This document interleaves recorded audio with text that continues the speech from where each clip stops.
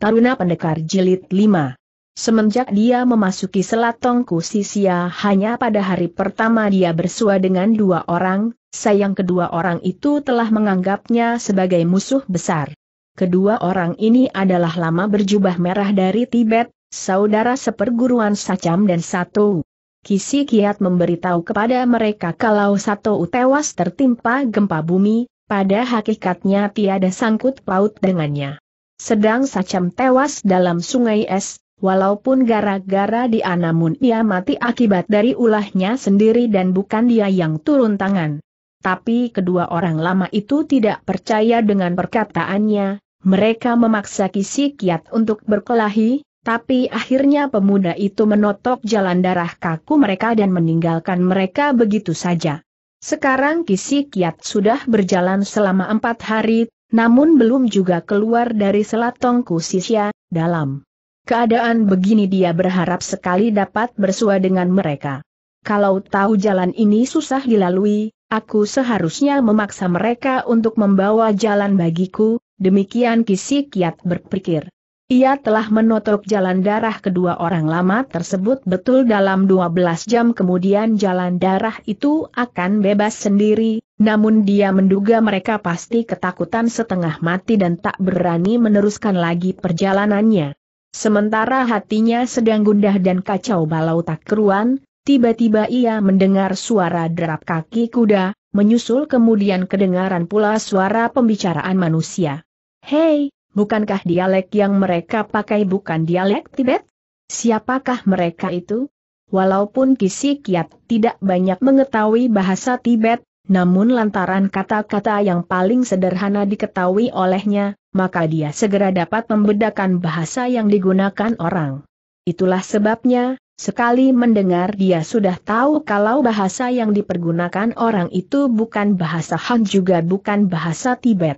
Tapi anehnya, Suara dari salah seorang di antara mereka justru seperti dikenal olehnya. Teka-teki tersebut dengan cepat terungkap, dua orang penunggang kuda itu sudah muncul dari balik tikungan.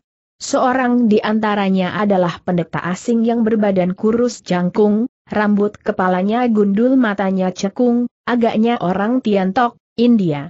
Pendeta ini kurus kering menyerupai bambu, tangannya panjang kakinya juga panjang, meski sedang menunggang kuda namun sepasang kakinya hampir menempel di atas tanah. Tentu saja Kisi Kiat tidak kenal dengan pendeta dari Tiantok yang istimewa dan danannya itu. Tapi seorang lainnya, bukan cuma kenalan lama saja, bahkan pernah pula menjadi pemandu jalannya. Dia bukan lain adalah Lian Loto A, orang yang membantu Toan Kiam Cheng hendak mencelakainya dua tahun berselang di kota iblis. Ketika Lian Kan Pei melihat kehadirannya ternyata tidak menunjukkan rasa kaget sambil menuding ke arah Kisi Kiat dia lantas cuap-cuap berbicara dengan pendeta dari negeri Tiantok itu.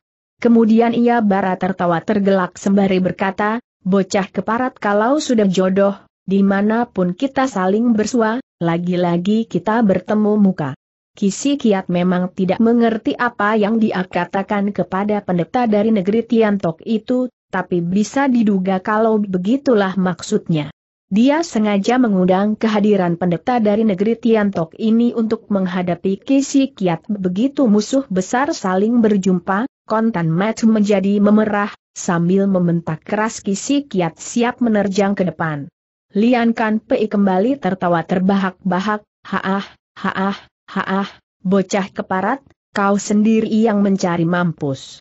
Ia menunggang seekor kuda jempolan yang tinggi besar, di tengah gelak tertawa yang keras kudanya segera dilarikan. Kencang-kencang menerjang ke muka, agaknya ia hendak menginjak tubuh Kisi Kiat. Agaknya dia terlalu mengandalkan kemampuan dari si pendeta Tiantok, dalam anggapannya soal kemenangan sudah tidak menjadi masalah lagi. Dia bermaksud untuk menunjukkan kehebatannya, lebih baik lagi bila dia dapat merobohkan lawannya tanpa meminta bantuan dari pendeta Tiantok ini.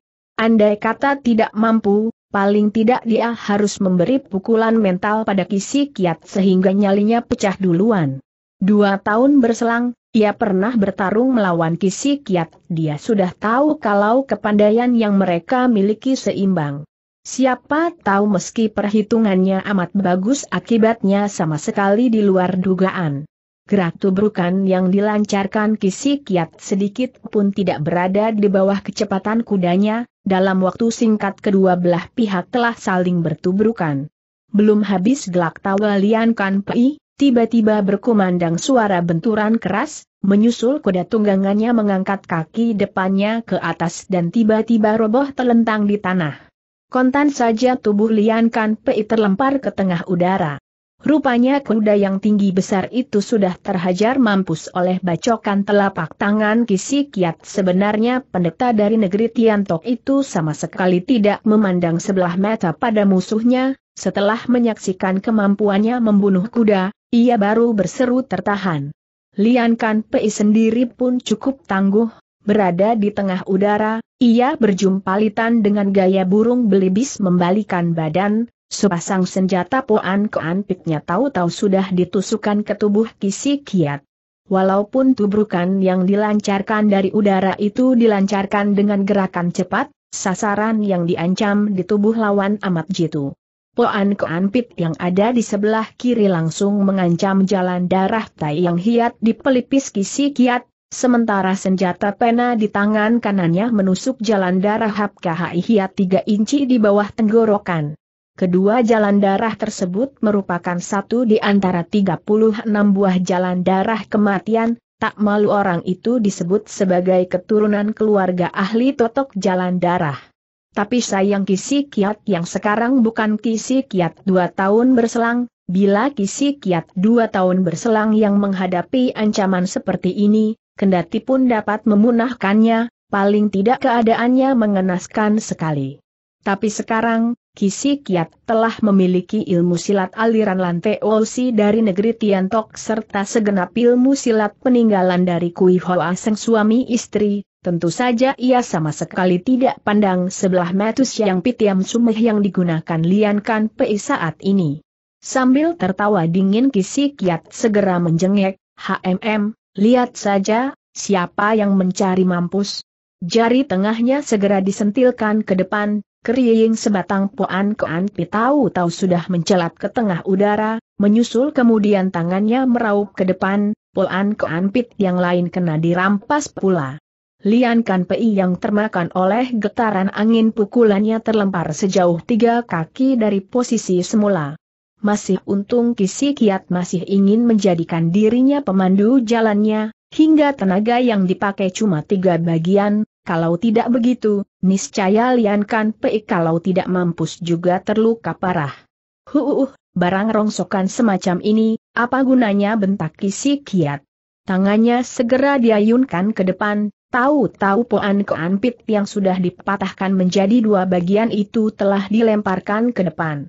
Sementara itu Lian Kan PCI telah jatuh terintang di atas tanah, sampai sekarang dia masih belum mampu merangkak bangun. Mendadak terdengar pendeta negeri Tiantok itu menegur dengan menggunakan bahasa Han yang kaku, bocah, dari mana kau mempelajari ilmu Leong Siu Kang? Belum habis perkataan itu diucapkan, Kisi Kia telah merasakan datangnya desingan angin tajam, ternyata sebatang toya bambu telah menotok jalan darah Hang Huhiat di punggungnya. Ternyata pendeta kurus kering ini adalah murid pertama dari Silo Hoatsu, salah seorang dari dua pendeta sakti negeri Tianto yang bergelar Tai Kiat. Dahulu dia pernah mengikuti dua orang pendeta sakti itu berkunjung ke Bukit Tian San tapi kalah di tangan Beng Hoa. Supek maupun suhunya adalah pendeta-pendeta agung, sebaliknya dia sendiri masih belum bisa menguasai nafsu angkara murkanya, selama beberapa tahun belakangan ini selalu melatih ilmunya dalam kuil Lante Ousi, sehingga selain berhasil menguasai segenap ilmu silat gurunya, dia pun terhitung nomor satu di antara saudara-saudara seperguruan dari angkatannya. Kali ini dia muncul kembali di daratan Tionggoan dengan tujuan hendak menantang Beng Hoa berduel, siapa tahu kena dibujuk Lian Kan Pei untuk membantunya menghadapi Kisi Kiat. Pada mulanya dia tak sedih untuk turun tangan, menanti ia saksikan Kisi Kiat membunuh kuda dengan ilmu Leong Shun Kan, dia baru terkesiap dan timbul keinginannya untuk menang. ilmu Liong Xiun Kang merupakan kepandaian rahasia dari kuil Lante Ousi, kepandaian ini tidak sembarangan diwariskan kepada setiap orang, tingkatan yang tertinggi adalah tingkat ke-9, tapi dalam dunia saat ini hanya Tem Hoatsu pemimpin kuil Lante Ousi saja yang berhasil mencapainya. Suhu Tai Kiat yang bernama Silo Hoatsu, hanya berhasil mencapai tingkat ketujuh, sementara dia sendiri baru mencapai tingkat keempat namun dalam kuil lantai Ousi, ilmu Leong Xun Kang yang dimilikinya itu sudah menempati kursi ketiga. Walaupun ilmu Leong Xun Kang yang dimiliki bocah keparat ini masih belum dapat melampaui Toa Suhu, tapi agaknya sudah setanding dengan suhuku sendiri, heran, dari mana dia mempelajari ilmu rahasia dari perguruan kami ini. Sekalipun dia bisa berhasil mempelajarinya kalau dilihat dari usianya, paling baru 20 tahunan, kenapa dia bisa memiliki ilmu Leong Xun Kang yang begitu sempurna? Makin dipikir semakin tidak mengerti, maka begitu turun tangan dia lantas mengeluarkan ilmu tutokan jalan darah yang maha dahsyat untuk merobohkan kisi kiat asal. Pemuda itu dapat dirobohkan maka dia akan memaksa pemuda itu untuk mengaku. Siapa tahu belakang punggung Kisi Kiat seperti mempunyai mata saja, sambil membalikan badan dia lancarkan sebuah cengkeraman yang bukan saja berhasil memunahkan jurus serangannya, malah hampir saja berhasil mencengkeram toya bambu itu. Toya bambu dari Tai Kiat segera membentuk gerakan setengah pusur di udara, lalu ditarik untuk melindungi badan, sementara bokor emas di tangan kirinya secepat kilat menghantam kepala. Kisi Kiat segera menggunakan jurus THI On Ong Teota, Raja Langit menyunggi pagoda, sepasang telapak tangannya dihantamkan ke atas. Belum sempat membentur, dua gulung tenaga pukulan telah saling menumbuk yang mengakibatkan kedua belah pihak sama-sama mundur sejauh tiga langkah. Saat itulah Kisi Kiat baru mempunyai peluang untuk menjawab pertanyaan orang, Ilmu Leong Xun Kang yang Bo Ampu miliki berasal dari ajaran Gasam Hoatsu. Rupanya Toa Hosyo juga murid kuil Lante Osi. Bo Ampu pernah mendengar penuturan dari suhu yang mengatakan bahwa peraturan dalam kuil Lante Osi amat ketat. Hang Tiang kuil itu Yeutem Hoatsu merupakan pendeta agung yang paling dikaguminya, Toa Hosyo juga murid kuil Lante Osi, berani kau pun seorang pendeta agung. Bajingan Silian ini adalah orang jahat, harap Toa Hosyo jangan sampai tertipu oleh akal muslihatnya. Waktu itu Lian Kan Pei sedang merangkak bangun dari atas tanah, ia lantas berpikir, tampaknya apa yang tersiar selama ini memang benar, bocah keparat ini telah berhasil mendapatkan kitab pusaka ilmu silat peninggalan dari Kui Hoa Seng di kota Iblis. Dia khawatir Tai Kiat Hoatsu berpihak kepada Kisi Kiat lantaran ada hubungan perguruan, buru-buru ia berteriak, Hoatsu jangan percaya dengan obrolannya. Gasam Hoatsu telah mampus di tangan Beng Hoa, mana mungkin ia bisa mewariskan ilmu Leong Xun Kang kepadanya. Jurus serangan yang digunakan Kisi Kiat untuk memunahkan tekanan dari bokor emas itu memang ilmu Leong Xun Kang, Cuma ilmu Liu Xun Kang yang dipelajarinya berbeda dengan apa yang dipelajari Tai Kiat Hoatsu, ilmu Long Xun Kang yang dimilikinya telah disesuaikan oleh Gasam Hoatsu dengan dasar ilmu Lak yang jiu keluarganya. Sebagaimana diketahui, ilmu Lak yang jiu dari keluarga NIO yang diperoleh Kisecekiaf dari ibunya adalah cabang dari Tai Lek Kim Kong Chiang Koil Xiao Lim Si, sedang pendiri kuil Xiao Lim Si, Tatmo Chousu adalah orang negeri Tiantok, atau boleh dibilang berasal dari saru sumber dengan ilmu silat aliran Lante Ousi sekarang. Oleh karena itu ketika Lak Yang Jiu dikombinasikan dengan Leong Xun Kang akibatnya jadilah suatu kepandaian baru yang luar biasa sekali. Cuma taraf kepandaian yang dilatih Kisi Kiat sekarang belum mencapai puncak, berbicara soal tenaga dalam, meski jauh lebih dahsyat daripada Liong Xun Kang aliran Lante Ousi, namun soal kesempurnaan, ia masih kalah jauh. Untung saja kemampuan yang dimiliki Tai Kiat Hoatsu sekarang masih selisih jauh dibandingkan dengan suhu dan supeknya, dia hanya merasa ada perbedaan di antara mereka. Berdua, namun di manakah letak perbedaan tersebut, ia sendiri pun tidak jelas. Pendeta ini hanya merasa ilmu Leong Shun Kang milik si kiat amat dahsyat, bahkan tidak berada di bawah gurunya sendiri, tanpa terasa ia menjadi terkejut bercampur gusar, hawa nafsu membunuhnya segera berkobar di dalam dadanya. Perlu diketahui, ilmu Leong Shun Kang merupakan ilmu rahasia Kuil Lante Ousi, di Kuil Lante Ousi tidak berlaku peraturan yang melarang penerimaan murid bangsa Han, namun sepanjang sejarah hanya Hian Chong Hoatsu dari Ahala Tong saja yang pernah datang ke kuil Lante Olsi untuk belajar agama Buddha, sedangkan orang yang belajar silat boleh dikata belum pernah.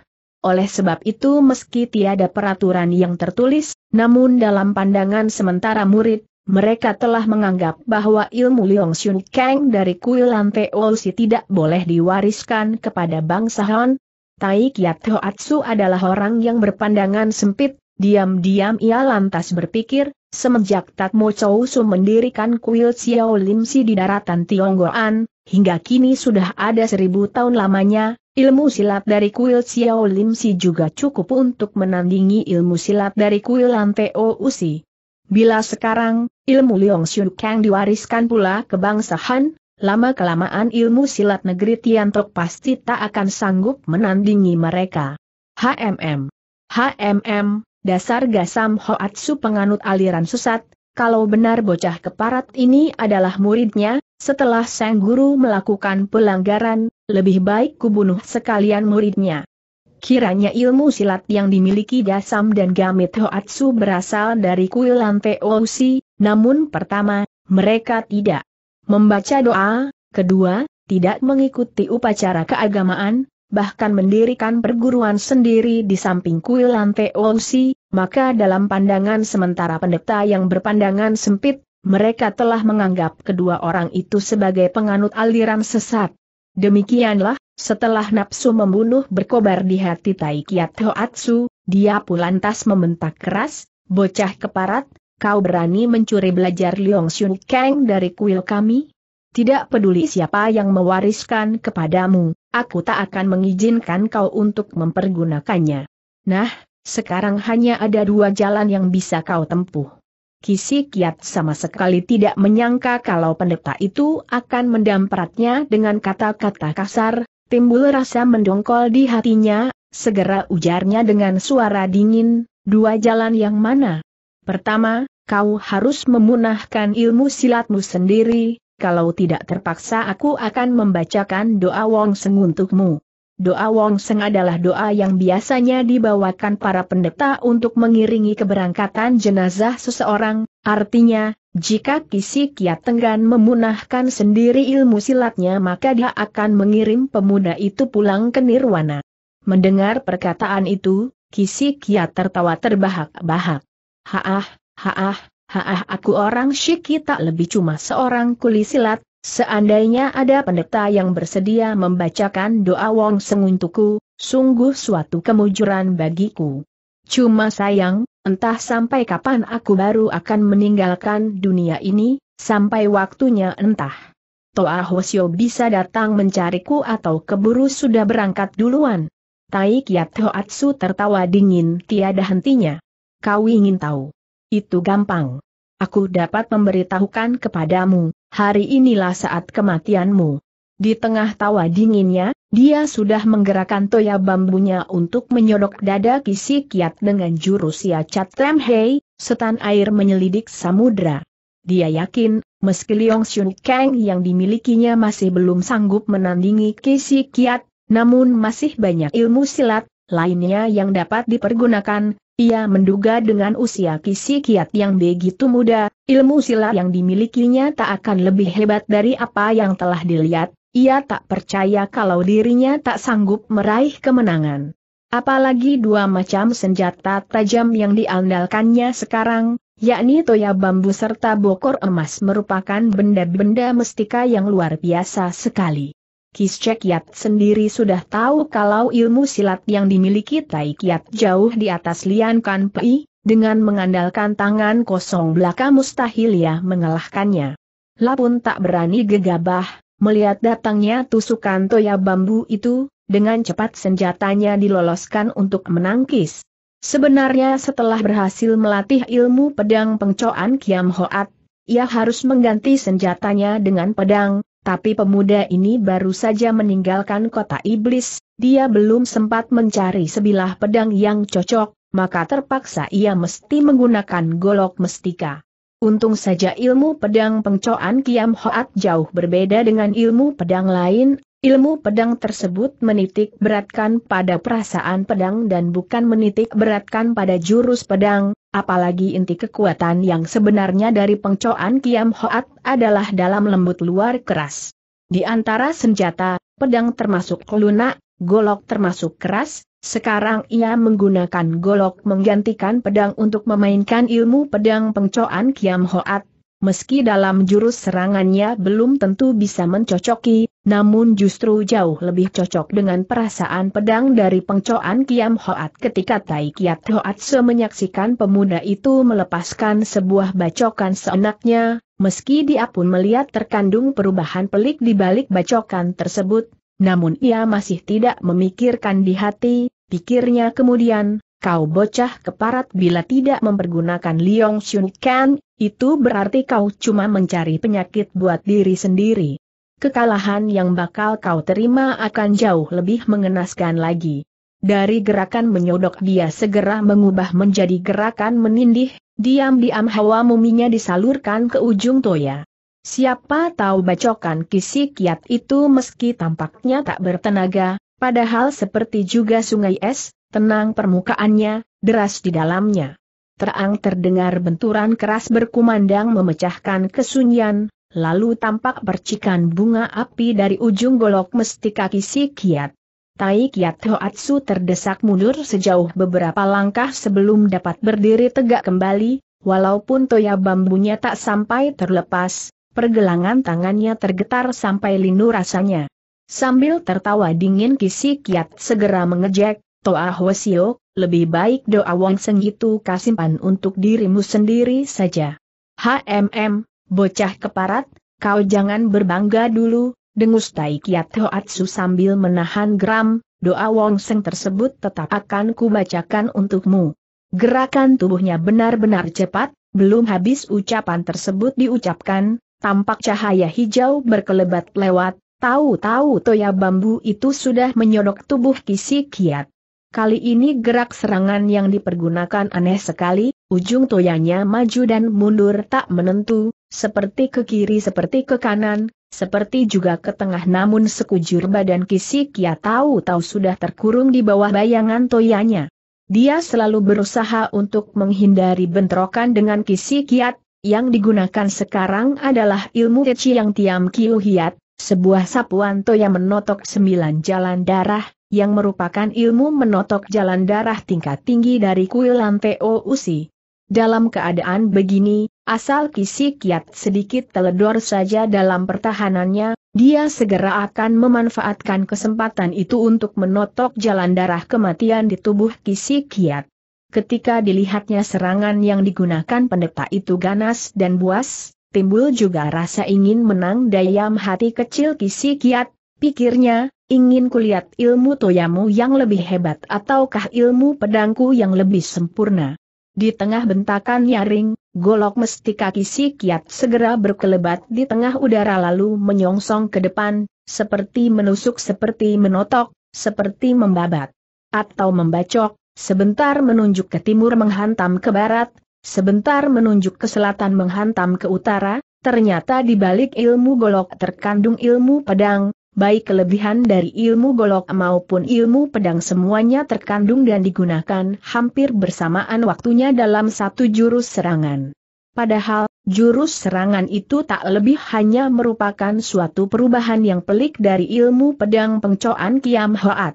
Tai Kiat Hoatsu merasa amat terkejut, segera pikirnya, aneh benar ilmu pedang yang digunakan bocah keparat ini, kalau dibilang ilmu Leong Xiu Kang itu dia peroleh dari GH Asam, kenapa ilmu pedangnya sama sekali berbeda dengan aliran kuil kami? Jurus serangan yang dipergunakan Kisi Kiat tersebut bukan cuma tepat dalam penggunaan waktunya juga amat jitu, beruntung Tai Kiat Hoatsu telah berganti jurus serangan, akan tetapi tak pernah berhasil, meloloskan diri dari ancaman. Tampaknya cahaya pedang yang membawa sinar hijau itu segera akan membacok di atas lengan Tai Kiat. Dalam keadaan begini, jika Tai Kiat Hoatsu ingin menyelamatkan lengannya, maka dia harus menggunakan toya bambunya untuk menangkis golok mestika lawan dengan kekerasan. I ketika Kisi Kiat gagal mengulangi toya bambu lawan, dengan cepat dia tahu kalau toya bambu itu adalah benda mestika, oleh sebab itu dalam penggunaan jurus serangan kali ini, ia telah menyertakan tenaga yang lebih besar, tenaga Liong Xun Kang yang dipelajarinya telah disalurkan ke ujung golok tersebut. Dengan kekuatan sebesar ini, andai kata golok itu sampai bentrok dengan toya lawan, maka akibatnya sekalipun ia gagal untuk mengutungi Toya, paling tidak juga akan membuat senjata lawan mencelat dan terlepas dari cekatannya. Siapa tahu ilmu aliran Tiantok yang dimiliki Tai Kiat Hoatsu lihai sekali. Ia pernah belajar yoga, seluruh badannya lemas seperti tak bertulang, seluruh otot dan dagingnya seakan-akan biasa diubah-ubah bentuknya seperti apa yang dikehendaki. Baru saja Kisi Kiat bergirang hati karena serangannya hampir mengenai sasaran, mendadak ujung pedangnya tergelincir ke bawah, lengan lawan bagaikan seekor ular saja tahu-tahu berubah arah, toya bambu itu pun segera melesat lewat dari sisi mata pedangnya dan mendadak menotok jalan darah Gika Hiat di bawah iganya. Untung saja ilmu pedang pengcoan Kiam Hoat mempunyai banyak perubahan, belum habis jurus itu, mendadak ia melancarkan sebuah tusukan lagi dari suatu sudut yang sama sekali tak terduga oleh Tai Kiat Hoatsu. Dengan demikian, kedua belah pihak sama-sama menghadapi jurus berbahaya yang munculnya sama sekali di luar dugaan, tapi Kisi Kiat mempunyai tenaga Liong Xun Kang yang melindungi badan, Sekalipun jalan darahnya kena ditotok juga belum tentu bisa melukainya. Berbeda dengan Tai Kiat Hoatsu, andai kata goloknya sampai bersarang telak, niscaya jiwanya akan terancam. Sudah barang tentu Tai Kiat Hoatsu tak berani mengambil risiko tersebut, terpaksa dia harus mengeluarkan ilmu yoganya lagi. Dada dan lambungnya segera ditarik dalam-dalam, Kakinya sama sekali tak bergeser, tubuhnya mundur tiga inci ke belakang, dalam keadaan yang amat kritis, akhirnya dia berhasil juga meloloskan diri dari tusukan golok kisi kiat. Oleh karena ilmu pedang yang dipergunakan kisi kiat adalah ilmu pedang pengcoan kiam hoat, walaupun senjata yang digunakan bukan pengpok Hong Kong kiam, namun di mana serangan itu tiba, Tai Kiat Hoatsu segera merasakan dingin yang luar biasa, tanpa terasa ia bergidik dan bersin berulang kali. Dengan cepat pendeta itu membentak keras, bokor emas yang berada di tangan kirinya dipergunakan untuk melancarkan serangan, dengan gerakan Bukit Taisan menindih puncak, dia hantam batok kepala pemuda itu. Serangan yang indah seru kisi kiat. Telapak tangan kirinya melepaskan sebuah pukulan dengan Liong Xun Kan, sedangkan golok di tangan kanannya menusuk ke atas dengan gerakan mengangkat obor membakar langit. Bokor emas itu segera miring ke samping, sebetulnya Kisi Kiat bisa menggunakan kesempatan itu untuk menerobos masuk dan menusuk salah satu jalan darah penting di tiga bagian tubuh Tai Kiat Hoatsu. Tapi entah mengapa, golok mesikanya seakan-akan kena diisap oleh semacam tenaga tak berwujud yang kuat sekali dan ikut miring ke samping. Itu pun berkat tenaga dalamnya amat sempurna, coba tidak nisa senjata itu sudah terlepas dah, cekalan. Ternyata bokor emas milik Tai Kiat Hoatsu itu mempunyai keistimewaan. Dalam bokor emas dipasang besi sembrani, cuma besi sembrani itu bukan besi sembrani biasa, melainkan inti besi. Yang digali dari lapisan paling bawah di Pulau Tongyatsu di kedalaman beribu depa. Pulau Tongyatu yang terletak dekat kutub selatan terkenal sebagai penghasil magnet, itulah sebabnya daya magnetnya besar sekali. Seandainya berganti dengan orang biasa, asal senjata yang digunakan termasuk jenis logam, maka dalam jarak tiga depa di sekitarnya, niscaya senjata mereka akan terkena isapan bokor emas itu. Tapi sekarang, oleh karena tenaga dalam yang dimiliki Kisi Kiat jauh lebih tinggi beberapa tingkat dibandingkan dengan pendeta itu, ia masih berhasil meloloskan diri dari pengaruh daya tarik yang amat kuat itu. Cuma, sekalipun golok mestikanya tak sampai terlepas, namun cukup membuat hatinya terperanjat. Menggunakan kesempatan itu, Tai Kiat Hoatsu segera melancarkan serangan balasan, suatu pertempuran sengit pun segera berkobar masing-masing pihak saling menggunakan kemampuan yang dimilikinya, masing-masing pihak pun mempunyai perasaan was-was terhadap lawannya, hal ini membuat pertarungan berjalan seimbang. Bila kita berbicara soal ilmu silat yang dimiliki, Kisi Kiat memiliki ilmu silat dari beberapa keluarga, ayah ibunya, Kiri Hoa sang suami istri, ditambah lagi dengan ilmu silat aliran negeri Tiantok yang diwariskan Gasam Hoatsu kepadanya, maka dia jauh lebih unggul daripada Tai Kiat Hoatsu. Sebaliknya Tai Kiat Hoatsu mengandalkan dua macam benda mestika yang dimilikinya, maka untuk sesaat keadaan menjadi berimbang. Akan tetapi ketika waktu berlangsung makin lama, tenaganya makin lama makin lemah, dalam keadaan demikian ia mulai keder. Dalam pada itu Lian Kan Pei hanya berdiri tertegun di tepi arna, pada mulanya dia mengira asal Tai Kiat Hoatsu mau turun tangan, niscaya Kisi Kiat dapat dibekuk dalam waktu singkat. Siapa tahu kenyataannya sama sekali di luar dugaannya, makin melihat dia bahkan makin terperanjat, dengan cepat pikirnya, ternyata ilmu silat yang berhasil dia pelajari dalam kota iblis jauh lebih tangguh daripada ilmu silat aliran kuil Lante Ousi, wah, jika pertempuran ini dilangsungkan lebih jauh, Mungkin Tai Kiat Hoatsu sendiri pun belum tentu dapat menandinginya, lebih baik sekarang juga aku mengambil langkah seribu. Ia tak berani menonton lebih lanjut, tanpa menimbulkan sedikit suara pun ia lantas kabur. Tanpa terasa kedua belah pihak telah bertarung seratus jurus lebih, sekarang Kisi Kiat telah berhasil menemukan care untuk menghadapi bokor emas lawan. Tapi pada saat itulah mendadak mereka seperti mendengar ada orang berseru tertahan. Bila seorang jago lihai sedang bertempur, maka selain sorot matanya mengawasi empat penjuru, telinganya juga mendengarkan delapan penjuru, meski orang yang berseru tertahan itu masih berada di tempat kejauhan, namun suara tersebut telah terdengar di sisi telinga mereka.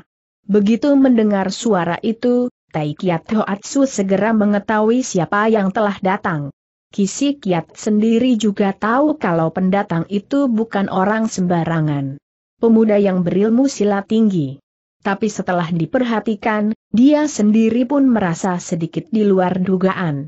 Ternyata orang yang baru datang itu adalah seorang pemuda yang jauh lebih muda lagi daripada dirinya, dia berkulit merah kehitam-hitaman, pasir dan debu mengotori wajahnya, meski sukar untuk menentukan berapa umur pemuda itu, tapi dapat dilihat usianya tidak akan lebih dari 20 tahunan. Kalau dilihat dari dandanannya, dia lebih mirip bangsa Han. Menyaksikan kedatangan pemuda itu, Tai Kiat Hoatsu segera menampilkan wajah berseri, dengan bahasa yang tidak dipahami dia berteriak berulang kali. Melihat itu, Kisi Kiat lantas berpikir, Ternyata dia adalah temannya. Dia merasa usia pemuda itu masih jauh lebih muda dari dirinya, sekalipun ilmu silatnya lihai, menurut anggapannya juga tak akan lebih hebat daripada pendeta asing tersebut, tapi bila pihak lawan mendapat bantuan seorang jago lagi, bukan mustahil pendeta asing itu akan berhasil mewujudkan keinginannya untuk merenggut selembar jiwanya. Melihat pemuda itu sudah semakin mendekat, terpaksa Kisi Kiat harus memperketat serangan dengan harapan bisa membereskan Tai Kiat Hoatsu lebih dahulu. Kebetulan sekali waktu itu Tai Kiat Hoatsu sedang menindih kepalanya dengan gerakan Bukit Taisan menindih kepala, tahu-tahu bokor emas itu sudah berada di atas batok kepalanya. Kisi Kiat segera membentak keras, dengan mencintakan selapis biang lala mendadak golok mestikanya meluncur ke atas. Terang di tengah benturan yang amat memekakkan telinga golok mestika itu sudah meluncur ke dalam bokor itu hingga tembus. Ternyata jurus serangan yang dipakai untuk menembusi bokor emas itu, persis mencocoki teori bangkit setelah mati dalam ilmu tentara. Sebelum kejadian ini, dia selalu takut kalau senjatanya kena terhisap oleh bokor emas lawan, tak urung dalam penggunaan jurus serangan pun dia bertindak sangat hati-hati. Siapa tahu semakin dia berhati-hati, keampuhannya semakin tak dapat dikembangkan, sampai detik itu dia tidak bisa mengembangkan kemampuan ilmu pedang pengcoan Kiam Hoat untuk menguasai musuhnya, malah sebaliknya hampir saja ia kena dirobohkan musuhnya. Tapi kemudian dia mengubah taktik pertarungannya, dia buang jauh-jauh perasaan takut golok mestika terisap bokor emas, dia berpendapat seandainya senjata itu sampai terisap ya sudahlah, ternyata serangan yang dipergunakan justru mendatangkan hasil yang gemilang dan di luar dugaan. Rupanya dalam serangan tersebut, yang dia gunakan bukan ilmu pedang pengcoan Kiam Hoat yang lunak membawa kekerasan, melainkan jurus Pek Hang Koanjit dari ilmu golok keluarganya yang keras, itulah jurus sampuh ajaran YAYA-nya untuk mencari kemenangan di balik kekalahan. Ia telah menyatukan tenaga Liong Xun Kang dengan Lak Yang Chiang di dalam serangannya itu, betul bokor emas mempunyai daya hisap sangat kuat, namun sulit untuk memunahkan tenaga sambitan tersebut. Jurus tersebut dapat membalik kekalahan menjadi kemenangan, kini dia berada di atas angin, bokor emas lawan rusak, tapi ia juga kehilangan golok.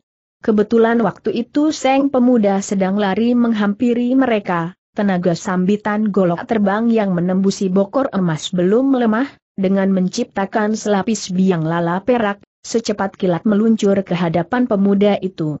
Tangannya segera diulurkan ke depan, tahu-tahu golok terbang itu sudah berada di tangannya. Sementara itu Kisi Kiat telah menganggap pemuda itu sebagai pembantu dari pendeta asing, dalam keadaan demikian ia tak dapat mengurusi golok mestikanya yang terjatuh ke tangan lawan. Dia harus menggunakan kesempatan sebelum pemuda itu sampai di Arna untuk menghajar Tai Kiat Hoatsu. Dengan mengembangkan ilmu Kinajil Hoat, secara khusus dia incar benda mecestika Tai Kiat Hoatsu yang lain, toya bambu berwarna hijau kehitam-hitaman.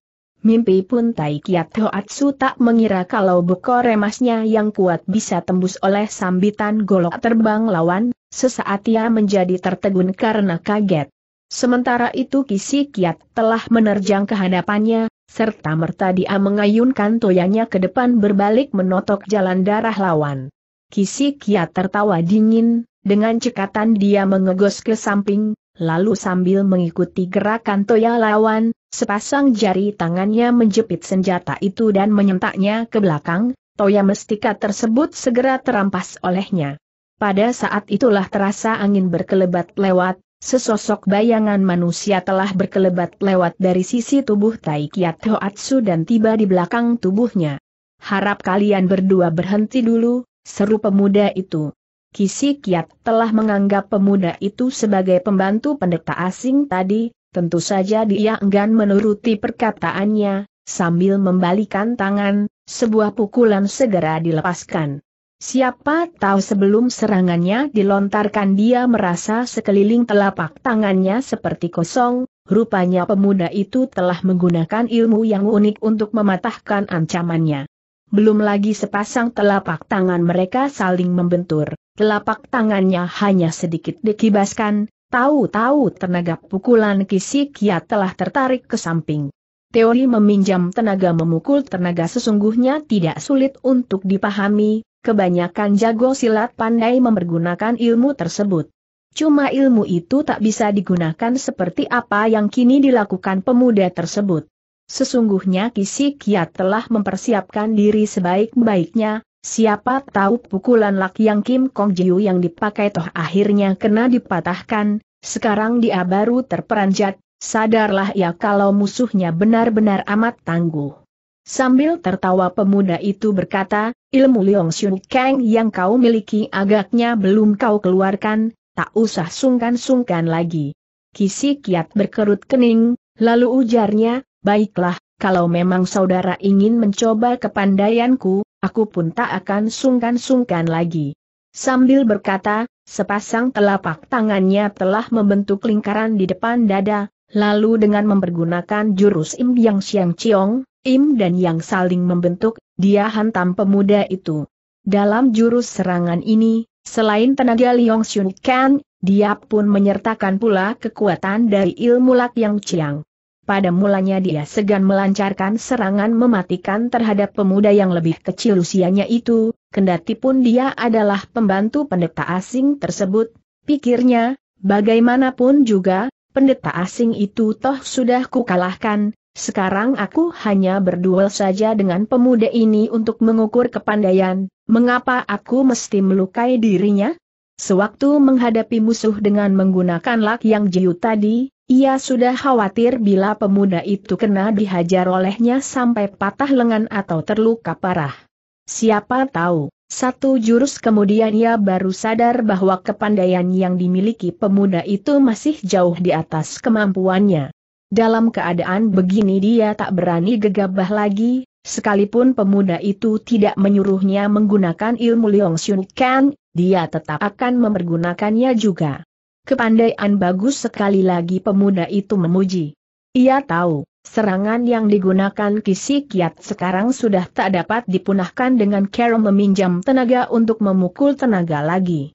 Sepasang tangannya segera diputar bagaikan gelang, dengan pertahanan yang rapat secara beruntun dia membuat tiga lingkaran.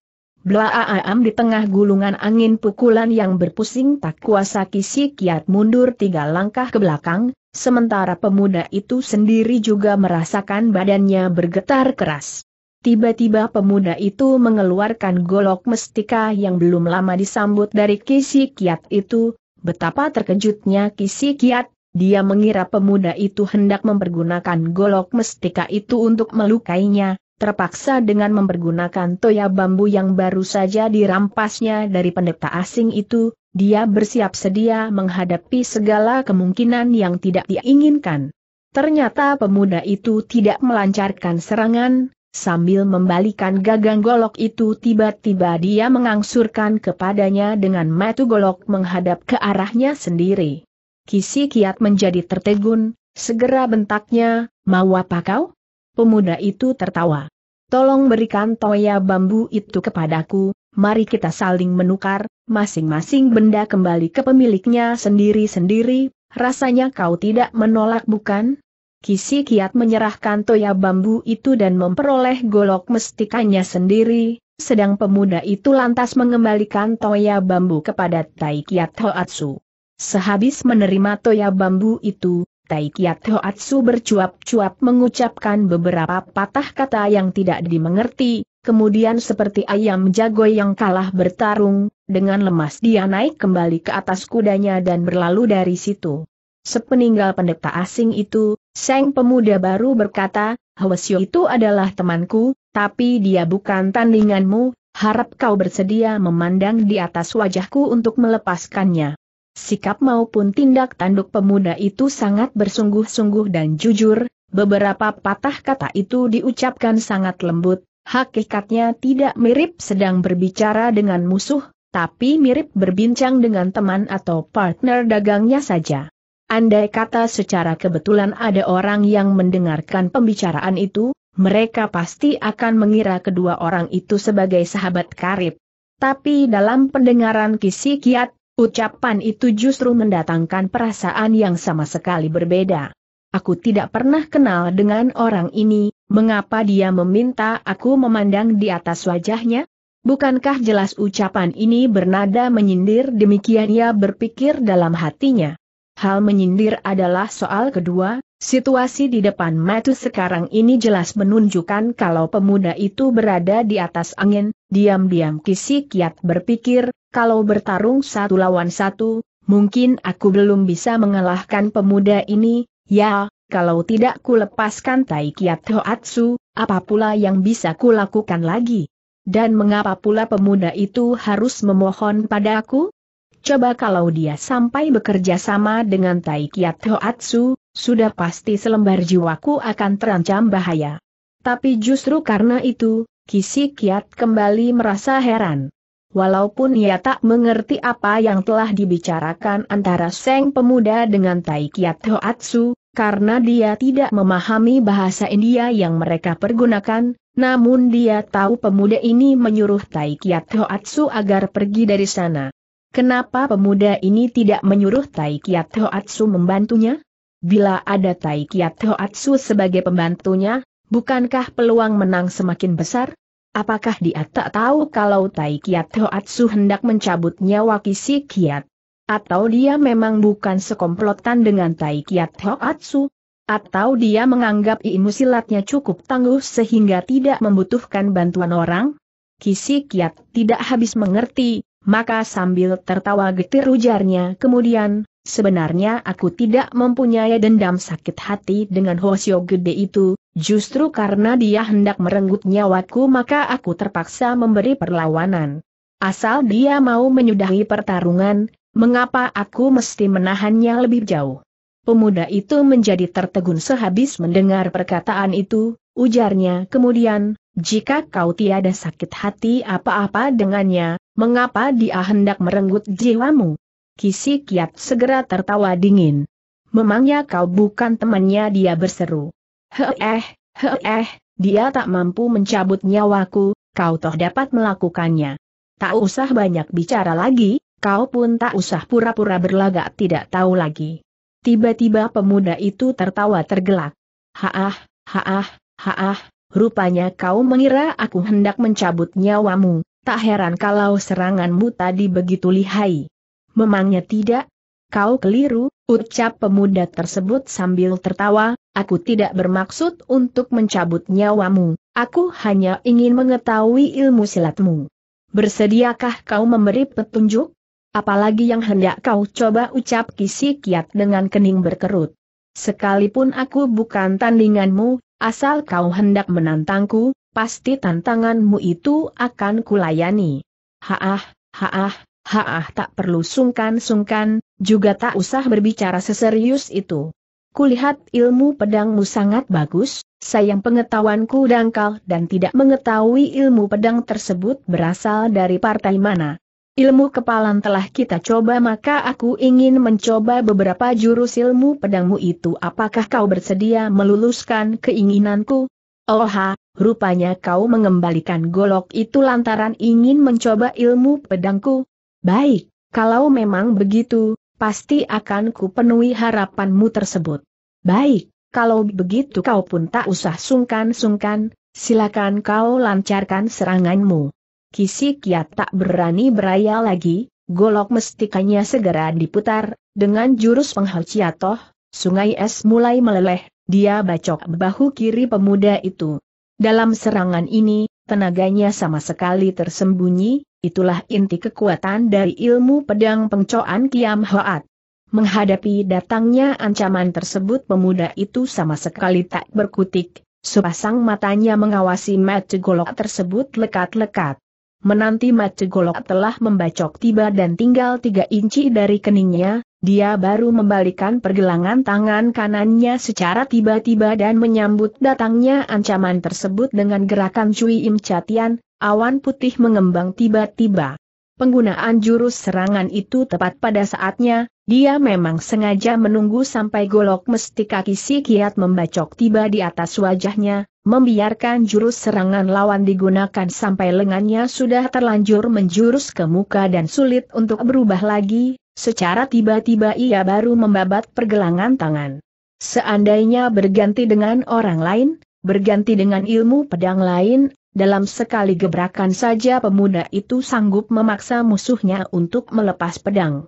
Tapi ilmu pedang pengcoan Kiam Hoat berbeda dengan ilmu pedang mana pun juga, apalagi pemuda itu tak ingin melukai kisi kiat, begitu pedang dibabat, ia khawatir musuhnya tak tahu lihainya, maka dia bersiap-siap membentak lepas pedang.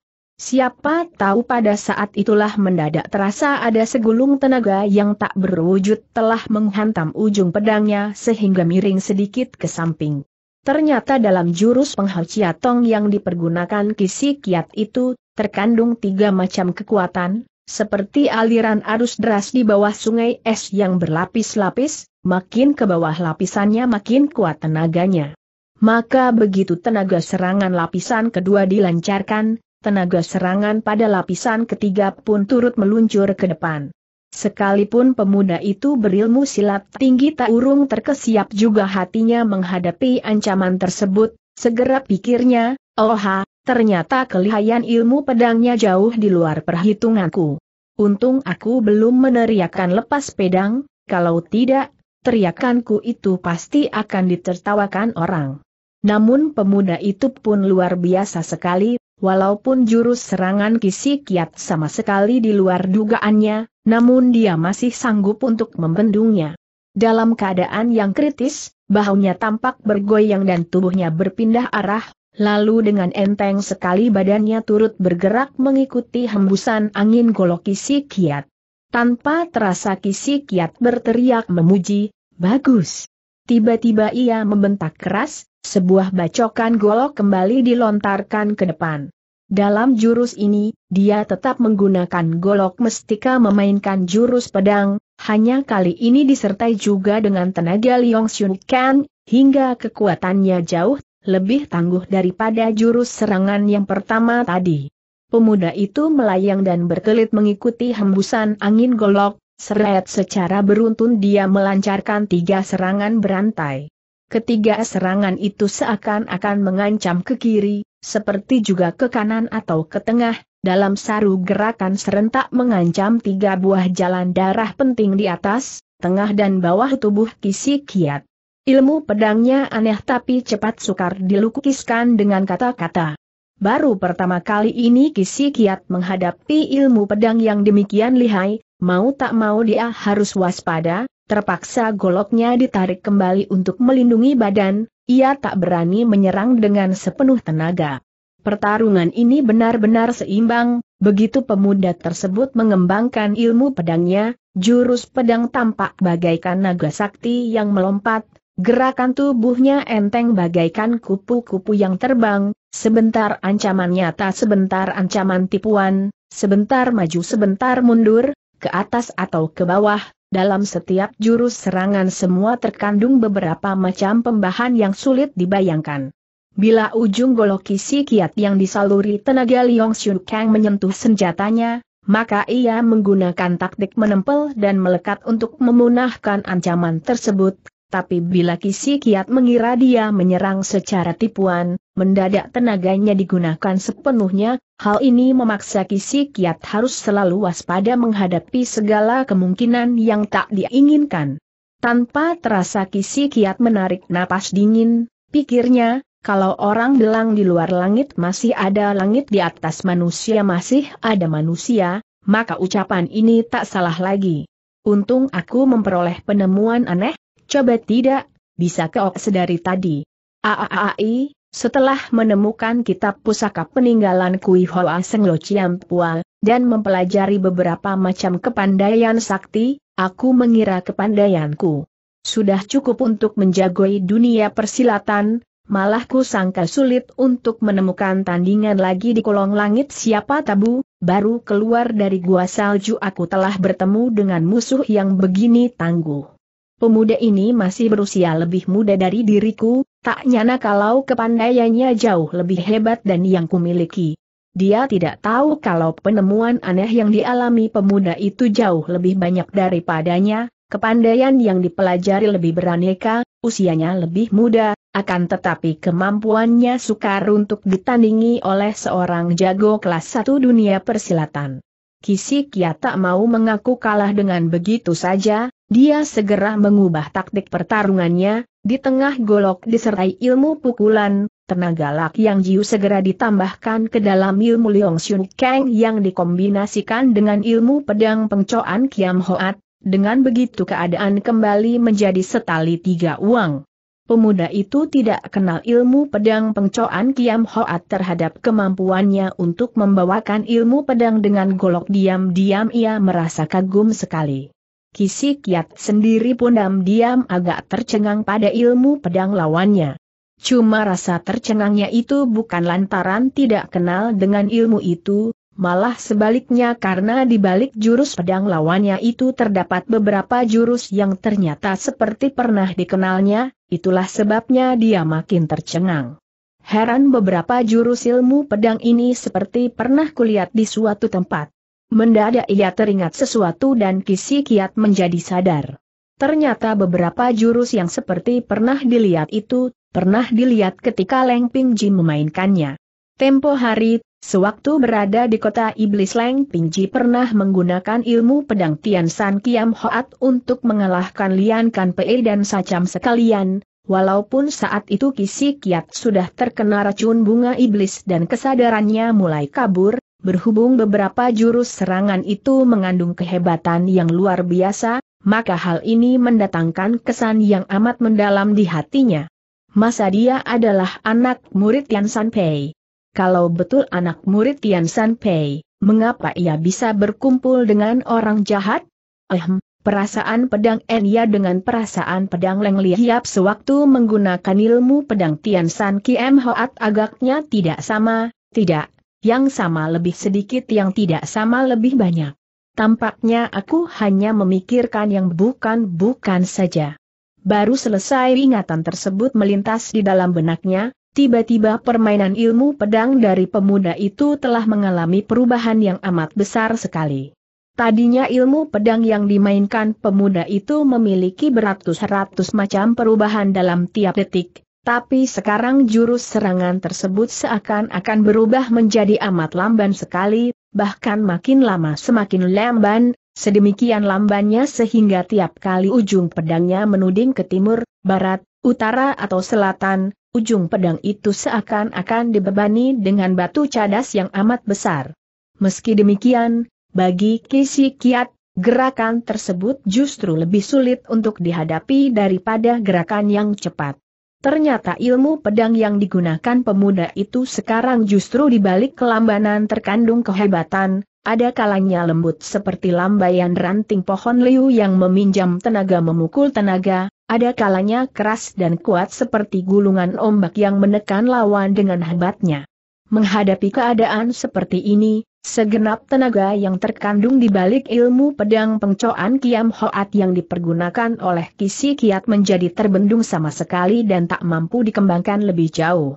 Mendadak Kisi Kiat teringat kembali dengan perkataan dari suhunya ketika ia berhasil melatih ilmu pedangnya itu, ia berkata begini, tingkatan paling tinggi dari ilmu pedang adalah berat lamban dan besar tiga hal, ilmu pedang pengcoan Kiam Hoat memang aneh dan sakti, tapi harus kau latih dari kelincahan berubah menjadi lamban, baru bisa dikatakan ilmu tersebut benar-benar telah kau kuasai. Waktu itu dia tidak memahami apa maksud dari perkataan itu, sampai dia melatih ilmu silat peninggalan Kui Hoa Seng, hai ini baru sedikit dia pahami, tapi Beiyum dipahami seluruhnya. Namun sekarang, setelah menyaksikan ilmu pedang dari pemuda itu, ia baru memahami sepenuhnya arti ucapan tersebut, diam-diam hatinya makin terperanjat.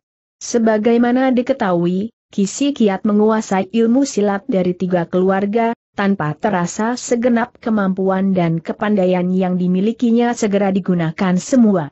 Begitu perasaan pedangnya sudah terarah, maka secara beruntun dia melancarkan serangkaian serangan dengan gerakan menghajar, menusuk, menebas, menggesek, membacok, dan membabat semuanya digunakan.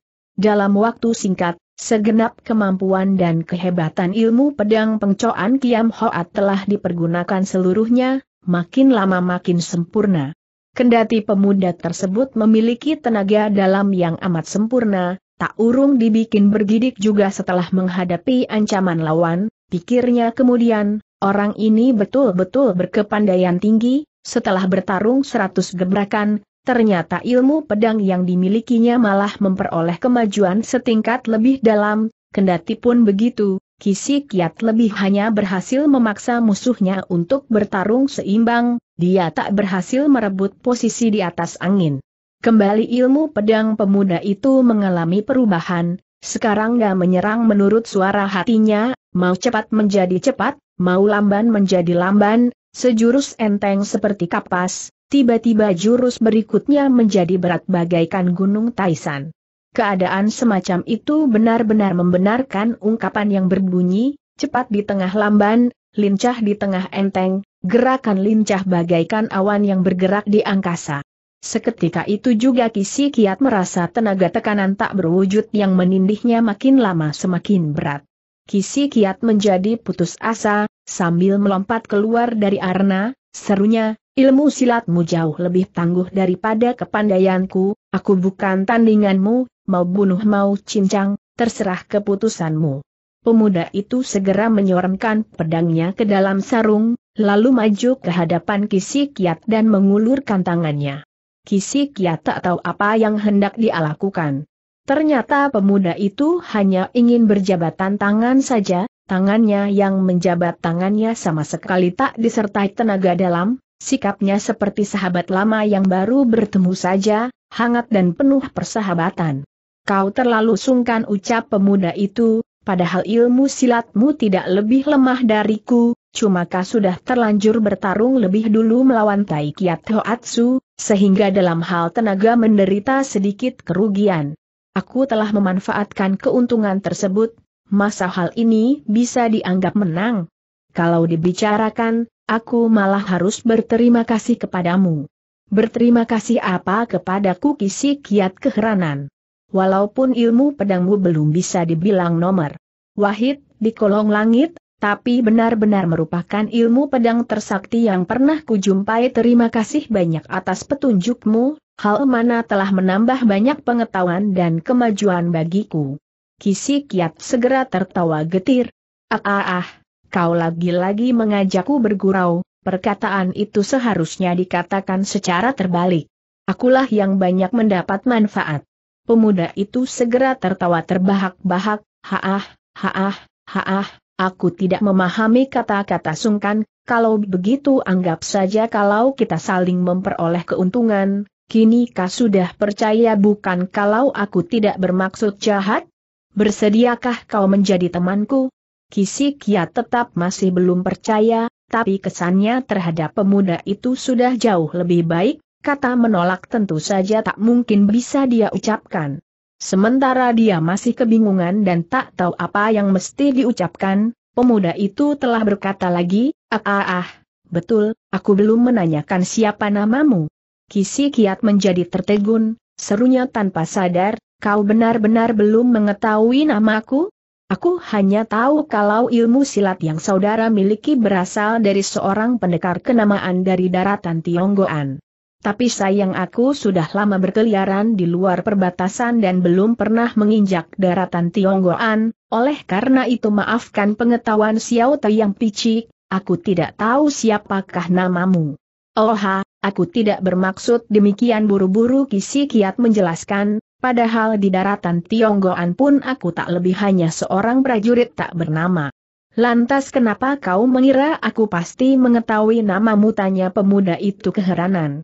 Apakah kau bukan temannya Tai Kiat Hoatsu? Apakah ia tidak memberitahukan namaku kepadamu? Tiba-tiba pemuda itu menjadi sadar, dia lantas tertawa lebar. Ah ah! Sampai sekarang rupanya kau masih mengira aku mempunyai janji dengan Tai Kiat Hoatsu untuk menghadapimu di sini. Bukan begitu? Andai kata dugaanku keliru, harap kau jangan marah.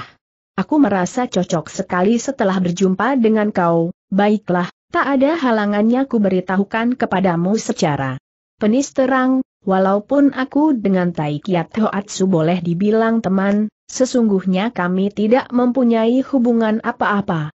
Kenapa ia sampai memusuhi kau, aku benar-benar tidak tahu. Kisi Kiat mulai percaya beberapa bagian, tapi tak tahan untuk bertanya kembali, maaf jika Xiao terbanyak bertanya, apa yang dimaksudkan sebagai boleh dibilang teman? Aku hanya pernah bersua dengan Tai Kiat Hoatsu pada tujuh tahun berselang. Tapi aku tahu kalau dia adalah murid dari si Hoatsu, salah satu di antara dua orang sinceng dari negeri Tiantok. Si Hoatsu merupakan salah satu di antara sekian banyak pemimpin persilatan yang kukagumi, oleh sebab itu barusan aku takut kau telah melukainya sehingga secara gegabah telah turut campur dalam urusan ini dan memohonkan pengampunan baginya. Oh oh, rupanya begitu. Kalau begitu apakah saudara juga kenal dengan Lian Lotoa? Lian Lotoa? Lian Lotoa yang mana? Itu, Lian Kan Pei yang melakukan perjalanan bersama Tai Kiat Hoatsu. Bicara sampai di situ, dia baru teringat akan sesuatu, setelah berhenti sejenak, lanjurnya, rupanya orang Shilian itu sudah kabur ketika aku sedang bertempur melawan Tai Kiat Hoatsu. Apakah kau tidak bersua muka dengannya? Tadi aku tidak melihatnya, dulu aku juga belum bertemu dengannya. Cuma Lian Kan Pei yang kasinggung itu pernah kudengar namanya. Aku tahu dia adalah seorang manusia rendah yang licik dan banyak tipu muslihatnya. Sekalipun Xiao tetap becus juga tak akan sampai bersahabat dengan manusia seperti itu. Setelah memahami keadaan yang sebenarnya, Kisi Kiat cepat-cepat minta maaf harap maafkan ketidaktahuan Xiao Te, apalagi menggunakan pikiran picik seorang Xiao Jin untuk menilai kebijaksanaan seorang kuncu. Pemuda itu segera tertawa ah, kalau cuma soal ini masih belum terhitung seberapa, andai kata kita bertukar tempat dan aku menjadi kau, mungkin aku sendiri pun mempunyai kecurigaan tersebut nah, kalau begitu tentunya kau tidak menolak keinginan Xiao Te untuk mengikat tali persahabatan dengan dirimu bukan? Kisi Kiat segera tertawa terbahak-bahak, haah, haah, haah, bisa bersahabat dengan seorang teman yang bijaksana, berhati bajik dan berilmu silat lihai seperti kau, hal ini sungguh merupakan suatu keberuntungan besar bagiku. Aha, benar. Aku belum bertanya siapa namamu. Sembari berkata dia lantas memperkenalkan dahulu namanya sendiri. Menyinggung soal nama, tiba-tiba pemuda itu tertawa getir. Dengan wajah tertegun Kisi Kiat segera bertanya. Saudara, mengapa kau tertawa? Pemuda itu tidak menjawab pertanyaannya, tapi memberitahukan lebih dahulu nama sendiri. Aku bernama Tong Put Chi, Tong tidak tahu. Mendengar nama seaneh itu, Kisi Kiat tertegun dibuatnya, untuk sesaat dia sampai termangu. Nah, betul tidak ujar pemuda itu sambil tertawa, aku sudah menduga kau pasti akan geli setelah mendengar. Namaku itu. Bukankah di dunia ini tiada nama yang lebih aneh dari namaku? Kisi Kiat lantas berpikir, kebanyakan umat persilatan memang enggan memberitahukan nama sendiri kepada orang asing, hal itu sudah lumrah. Bagaimanapun juga aku baru saja berkenalan dengannya, ia pasti masih menaruh perasaan was-was kepadaku. Cuma, dia berniat sungguh-sungguh untuk berkenalan denganku, tampaknya ini pun tidak berpura-pura saja. Berpikir demikian dia lantas berkata, nama tak lebih hanya sebutan belaka, walaupun nama saudara rada sedikit istimewa, tapi justru malah lebih mudah untuk diingat. Terus terangku katakan lagi kepadamu, sebetulnya aku sendiri juga tak tahu aku siapa dan siapa namaku. Aku hanya tahu aku adalah bangsa Han. Orang-orang di wilayah Siih menyebut orang Han sebagai orang Tong, oleh sebab itu kugunakan kata Tong sebagai nama margaku, sedangkan namanya terpaksa kugunakan kata Putci, tidak tahu. Sekulum senyuman yang menghiasi ujung bibirnya kelihatan murung dan sedih. Tergerak juga hati Kisi Kiat setelah mendengar penjelasan itu, kembali dia berkata, maaf kalau aku lancang banyak bertanya, mengapa kau bisa sama sekali tidak tahu nama sendiri? Aku adalah seorang anak yatim piatu, sejak kecil tidak tahu siapakah orang tuaku. Kisi Kiat kembali termangu-mangu beberapa saat lamanya, diam-diam dia lantas berpikir. Asal-usulnya begitu mirip dengan adik misanku. Cuma, cuma mustahil di kolong langit bisa terdapat kejadian yang begini kebetulan. Lagi pula menurut cerita Leng Pingji jadi misanku lenyap dikala ia berumur 11 tahun, sudah lenyap selama 7 tahun, berarti sekarang telah berumur 18 tahun. Seorang pemuda yang baru berumur 18 tahun mana mungkin bisa memiliki ilmu silat yang demikian sempurnanya, Seandainya selama ini dia selalu berada di atas Bukit Tiansan, mungkin saja ilmu silatnya bisa mencapai tingkatan seperti itu, tapi semenjak dia berusia 11 tahun, bocah itu sudah meninggalkan Bukit Tiansan, padahal dasar ilmu silat yang dimilikinya ketika itu masih rendah sekali. Aku sendiri sudah mempunyai dasar ilmu silat selama 20 tahun lamanya, dalam kota iblis juga telah menjumpai suatu penemuan yang luar biasa, tapi nyatanya aku masih belum bisa menandingi dirinya, masa dia pun mempunyai pengalaman yang hampir sama dengan pengalamanku. Apalagi meski pemuda ini kelihatannya masih lebih muda daripada usiaku, paling tidak dia juga telah berumur 20 tahunan lebih. Setelah tak menemukan hal-hal yang bisa menghubungkan orang ini dengan adik misannya, dengan cepat kecurigaan tersebut buyar. Maafkan ketidaktahuanku sehingga menimbulkan kesedihan saudara Tong, ucap Kisi Kiat dengan nada minta maaf. Dengan demikian dia pun tidak mendesak lebih jauh untuk mengetahui asal-usulnya. Dengan hambar Tong Putci berkata, ah ah ah, soal itu tidak terhitung seberapa, Aku memang sudah terbiasa hidup sebatang kara dan luntang lantung sendirian. Harap kau suka. Memaafkan kelancanganku, aku pun ingin bertanya kepada saudara Ki, jauh-jauh dari daratan Tionggoan mengapa kau datang ke wilayah Sinkiang? Kisi Kiat merasakan hatinya kembali tergerak, sahutnya kemudian, terus terang saja, aku sedang mencari orang. Siapakah yang kau cari? Bolehkah aku tahu? Aku dibesarkan di wilayah Singkiang, siapa tahu bisa membantumu. Aku memang sedang ingin mencari keterangan darimu, tahukah kau tentang seseorang yang bernama En Yoyan? Dia juga seorang anak yatim piatu, sejak kecil sudah dibawa orang ke wilayah Singkiang. Tong Put Chi segera menunjukkan mimik wajah seperti amat keheranan, setelah tertegun beberapa saat lamanya, dia berseru, ternyata kau juga sedang mencari En Yoyan? Kisi Kiat menjadi amat girang, serunya, Saudara Tong berkata demikian, berarti kau mengetahui tentang dirinya? Benar, aku tahu ada seseorang bernama Nye Oyan, sebenarnya dia adalah murid Tian San Pei, tapi secara tiba-tiba lenyap tak berbekas pada tujuh tahun berselang. Memang Nye Oyan inilah yang sedang kucari, sahut Kisi Kiat semakin kegirangan. Saudara Tong, Apakah kau kenal baik dengan dirinya? Aku hanya dapat mengatakan kalau aku kenal dengannya sedangkan mengenai masalah teman atau tidak, aku sendiri pun tak tahu bagaimana harus menjawab. Kisi Kiat merasakan jawabannya itu sedikit aneh, tapi dalam keadaan demikian, ia sudah tak sempat menyelami. Makna yang sebenarnya dari ucapan tersebut buru-buru tanyanya, lantas, tahukah kau saat ini dia berada di mana? Saudara Ki, maaf kalau sebelumnya aku ingin menanyakan dahulu satu persoalan, ucap Tong Putci tiba-tiba. Tanyalah. Mengapa kau hendak mencari En Yoyan? Dia adalah adik misanku, aku mendapat perintah dari ibuku untuk mencarinya. Kalian adalah hubungan piau, misan, dari ayah atau hubungan piau dari ibu? Ibuku adalah bibinya. Maaf, Aku ingin bertanya siapa nama marga ibumu. Kisi kiat makin tertegun dibuatnya, dengan cepat dia berpikir, jangan-jangan orang ini mengidap penyakit syaraf yang cukup parah. Tapi ketika dilihatnya sikap Tong Put Ci amat serius, sedikit pun tidak ada tanda-tanda bergurau, terpaksa pemuda itu tertawa terbahak-bahak, haah, haah, ibuku adalah bibinya N.I.O. Yan, sudah barang tentu dia si N.I.O. Kalau begitu, Nyo Yan benar-benar si Nyo.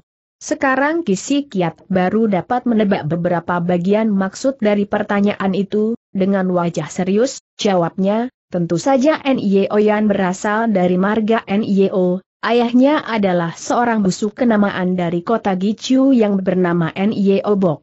Tong Put Chit tampak seperti agak terkejut, serunya kemudian, kau bilang apa? Ayahnya adalah, adalah, Ayahnya adalah Heng Kuku, dia adalah seorang busuk kenamaan dari kota Gichu yang bernama Nye Obok ulang kisi kiat sekait lagi. Tong Putci tertegun beberapa saat lamanya lalu berkata tapi aku pernah mendengar cerita yang berbeda. Bedanya? Ada orang yang berkata, Bang Goan Chow, Beng Tai Hiaplah ayahnya yang sebenarnya, sedangkan Beng Hoa seorang pendekar muda kenamaan pada zaman ini adalah kakaknya. Kisi Kiat segera menghela napas panjang. Titik. Aaai, aku juga tahu cerita tersebut, tak heran kalau kau selalu mendesak kepadaku apakah dia benar-benar si Nyo. Kalau begitu, cerita itu palsu tapi mengapa bisa beredar cerita palsu seperti itu? Kisi Kiat kembali menghela napas lega. Aaai, sebenarnya kejelekan rumah tangga tak boleh dibicarakan kepada orang luar, tapi kalau toh saudara Tong adalah teman baik adik misanku, aku rasa cepat atau lambat ia pasti akan mengisahkan juga cerita ini kepadamu. Maka tak ada halangannya kalau ku ceritakan pula kepada saudara Tong. Ibu N.Y. Oyan, dia, dia. Dia kenapa nadanya cemas, gelisah dan ingin tahu, suatu sikap yang tak akan diperlihatkan oleh teman biasa. Melihat itu, Kisi Kiat lantas berpikir, Tampaknya orang ini bukan cuma kenal saja dengan adik Yan, kemungkinan besar mereka mempunyai hubungan persahabatan yang akrab sekali sehingga dia menaruh perhatian khusus terhadap persoalannya. N.Y. Oyan asli dan gadungan. Setelah termenung dan berpikir sebentar, dia pun mulai berkisah, sebelum dia kawin dengan Engkuku, Engku adalah adik ibu atau kakak ibu, konon dia sudah mempunyai hubungan percintaan dengan Beng Chow, Kemudian justru lantaran persoalan ini, dia sampai bercerai dengan Engkuku. Mungkin karena itu juga, Beng Goan Chow mengakui dia sebagai putranya. Tong Put kembali tertegun beberapa saat lamanya, setelah itu tanyanya lagi, kalau begitu N.Y. Oyan adalah anak hasil hubungan gelapnya dengan Beng Goan Chow. Itu sih tidak.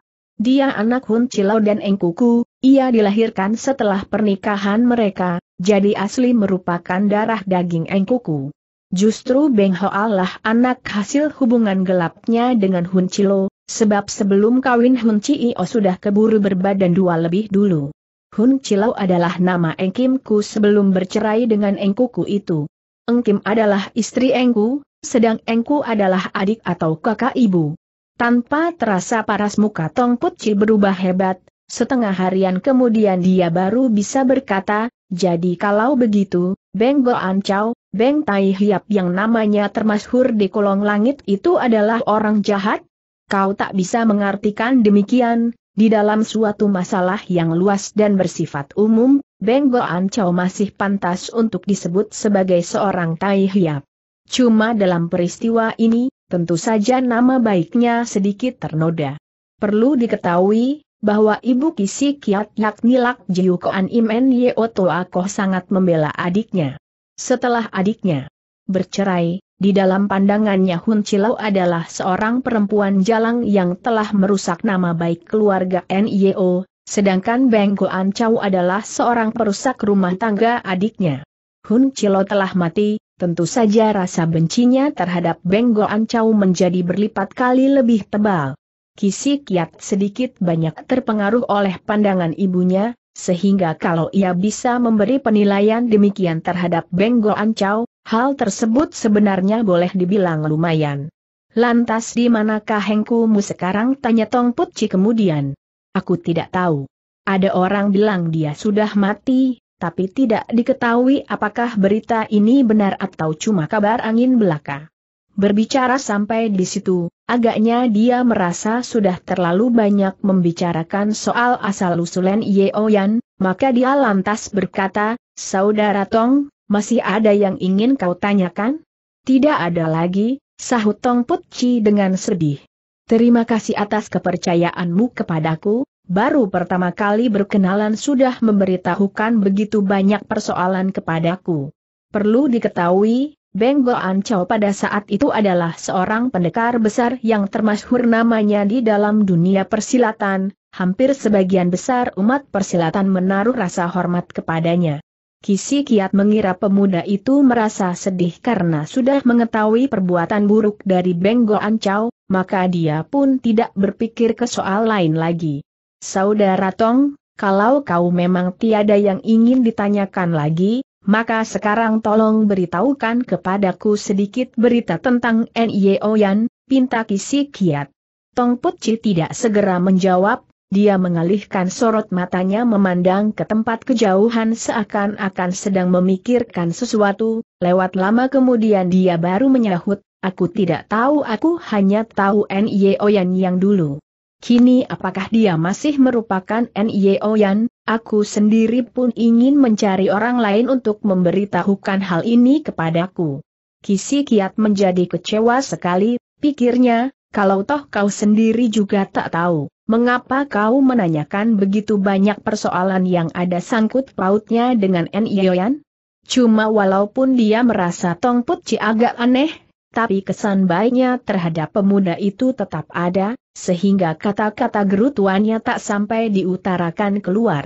Setelah berhenti sejenak, dia lantas berkata, dia sudah hilang selama tujuh tahun, menurut apa yang ku ketahui, selama tujuh tahun ini ada seorang LCN Gilehiap dari Partai Tiansan yang selalu mencari jejaknya, tapi hasilnya tetap nihil, tak heran kalau Tong Heng sendiri pun tak tahu. Saudara Tong, kau hendak ke mana? Tong Put Chi menaruh perhatian khusus terhadap perkataannya itu, selesai mendengarkan, dia tertawa getir lalu menyahut, aku menyebut diriku sebagai Put Chi maka bila kau bertanya kepadaku hendak ke mana aku pun hanya bisa menggunakan namaku untuk menjawab pertanyaanmu itu, sebab aku sendiri pun tak tahu harus pergi ke mana. Kalau memang begitu, terpaksa kita harus berpisah sampai di sini. Tunggu sebentar tiba-tiba Tong Put Chi berseru. Saudara Tong masih ada petunjuk apalagi aku pun ingin mencari berita tentang seseorang, siapa? Masih tetap N.I.E. Oyan, sahut Tong Put Chi sambil tertawa. Tadi, kau bilang masih percaya kalau dia masih hidup di dunia, atas dasar apa kau berkata demikian? Aku cuma menduga sendiri saja. Kalau ingin menduga juga mesti ada dasar alasan yang kuat. Saudara Ki, bila kau menganggap aku masih pantas untuk menjadi temanmu, harap kau suka menjawab pertanyaanku, apakah kau telah berhasil menemukan suatu titik terang mengenai jejak Yoyan?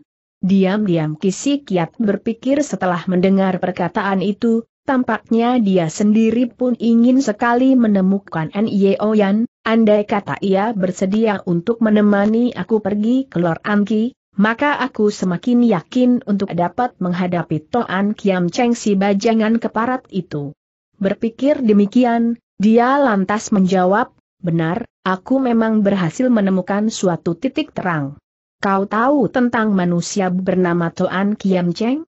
Aku tahu, ia dan N.I. Oyan pernah belajar silat bersama di atas gunung Tiansan, kenapa dengan dia? Ia telah membayar pembunuh bayaran dan berulang kali mencoba untuk membunuhku. Lian Kan Pei, orang yang baru melakukan perjalanan bersama Tai Kiat Hoatsu tak lain adalah seorang pembunuh bayaran yang dikirim untuk membunuhku. Oha, rupanya dari sinilah asal mulanya peristiwa itu terjadi, sehingga Tai Kiat Hoatsu menyusahkan dirimu. Tapi, apa sebabnya Toan Kiam Cheng hendak membunuhmu? Dia takut kalau aku menemukan Nye Oyan, dari mana kau bisa tahu? Seorang komplotan mereka yang bernama Tu Kian Kong hendak membunuhku, tapi dalam suatu peristiwa aku telah menyelamatkan jiwanya, sebagai rasa terima kasih dia pun memberitahukan hal ini kepadaku. Secara ringkas dia lantas mengisahkan pengalamannya di kota iblis sampai menolong Tu Kian Kong yang tertimpa bencana alam. Selesai mendengarkan kisah tersebut, Tong Put Chi lantas bertanya, apakah orang yang bernama Tu Kian Kong ini mengetahui jejak En? Dia tidak tahu, tapi dia tahu jejak seseorang yang lain, asal orang itu ditemukan, berarti telah menemukan titik terang yang akan menunjukkan di mana En berada.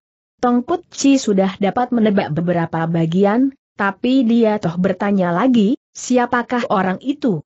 Dia adalah Toan Kiam Cheng. Saat ini Toan Kiam Cheng berada di mana? Apakah kau dapat memberitahukan kepadaku? Menurut Tu Kian Kong yang memperoleh informasi dari mulut Lian Kan Pei, katanya beberapa waktu berselang Toan Kiam Cheng di Lor Anki. Moga-moga saja dia belum meninggalkan tempat itu sekarang. Besar kemungkinan adik misanku ini ada bersama Toan Kiam Cheng, maka sekarang aku hendak berangkat ke Lor Anki.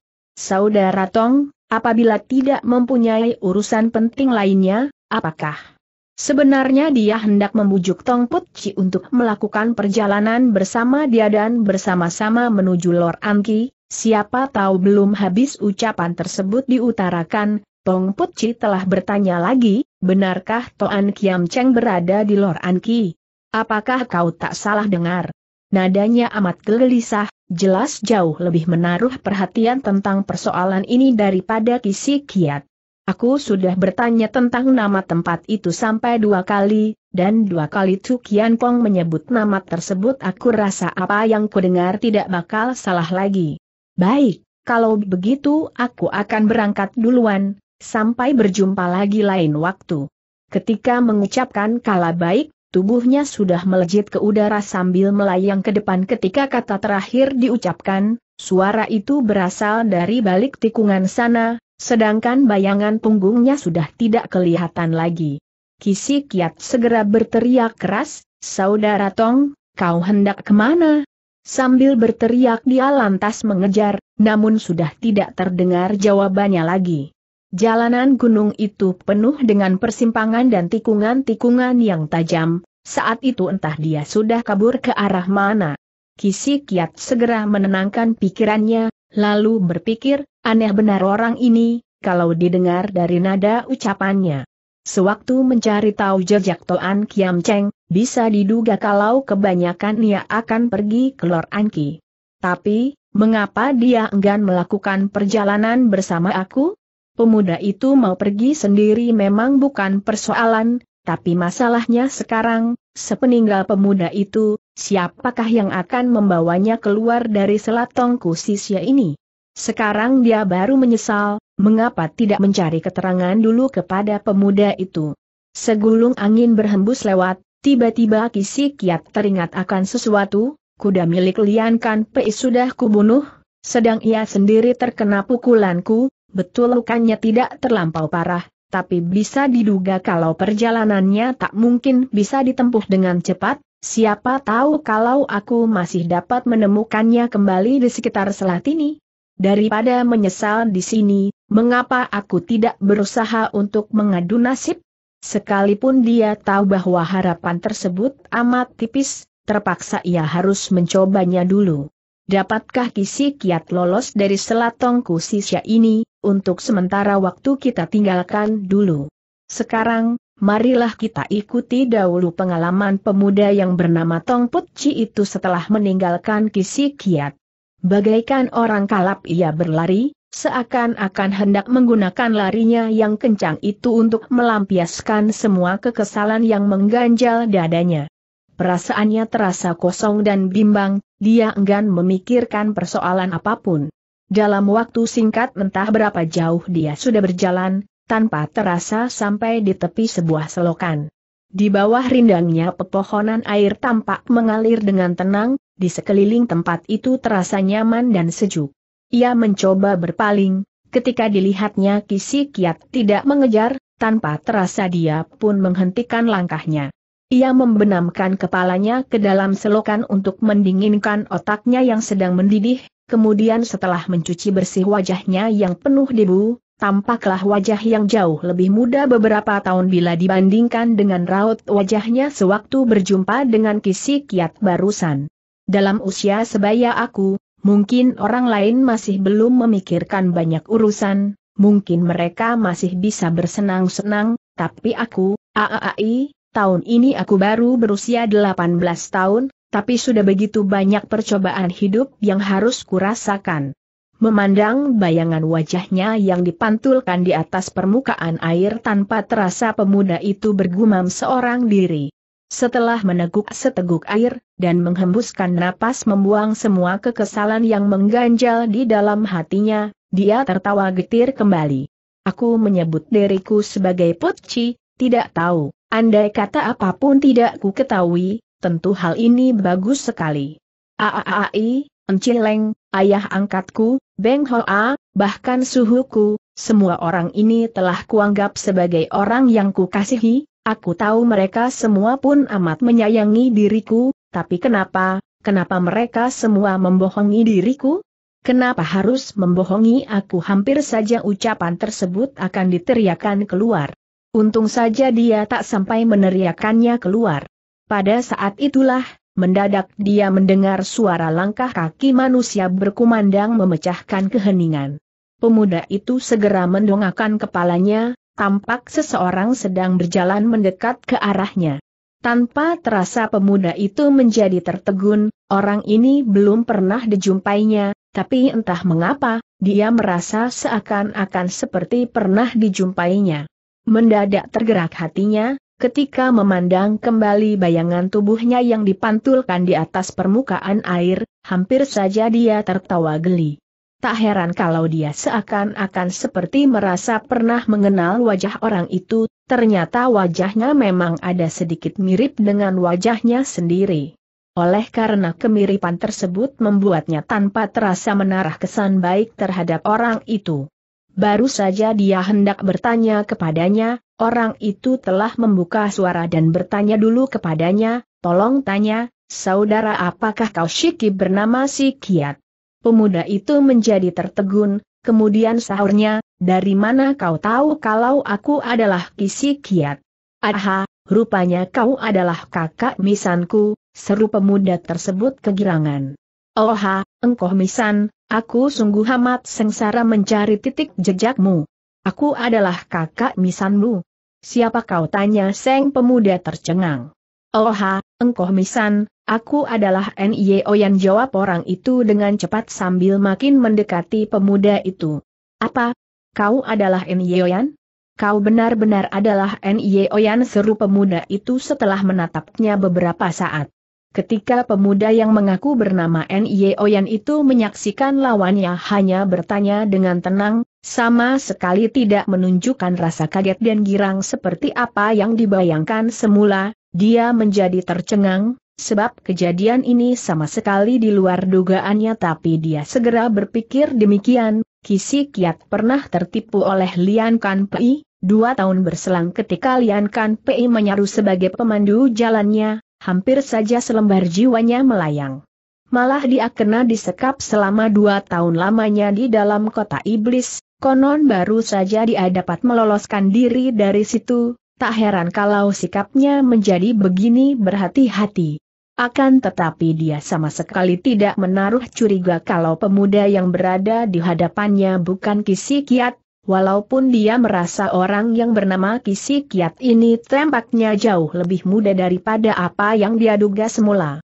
Perlu diketahui, Toan Kiam Cheng sama sekali tak pernah berjumpa dengan Kisi Kiat, sedangkan pemuda yang mengaku bernama N.Y. Oyan ini mendapat tahu tentang potongan badan serta raut wajah Kisi Kiat dari mulut Toan Kiam Cheng. Toan Kiam Cheng juga memperoleh keterangan dari Lian Kan Pei, oleh sebab itu ia tak dapat menciptakan bentuk yang jelas.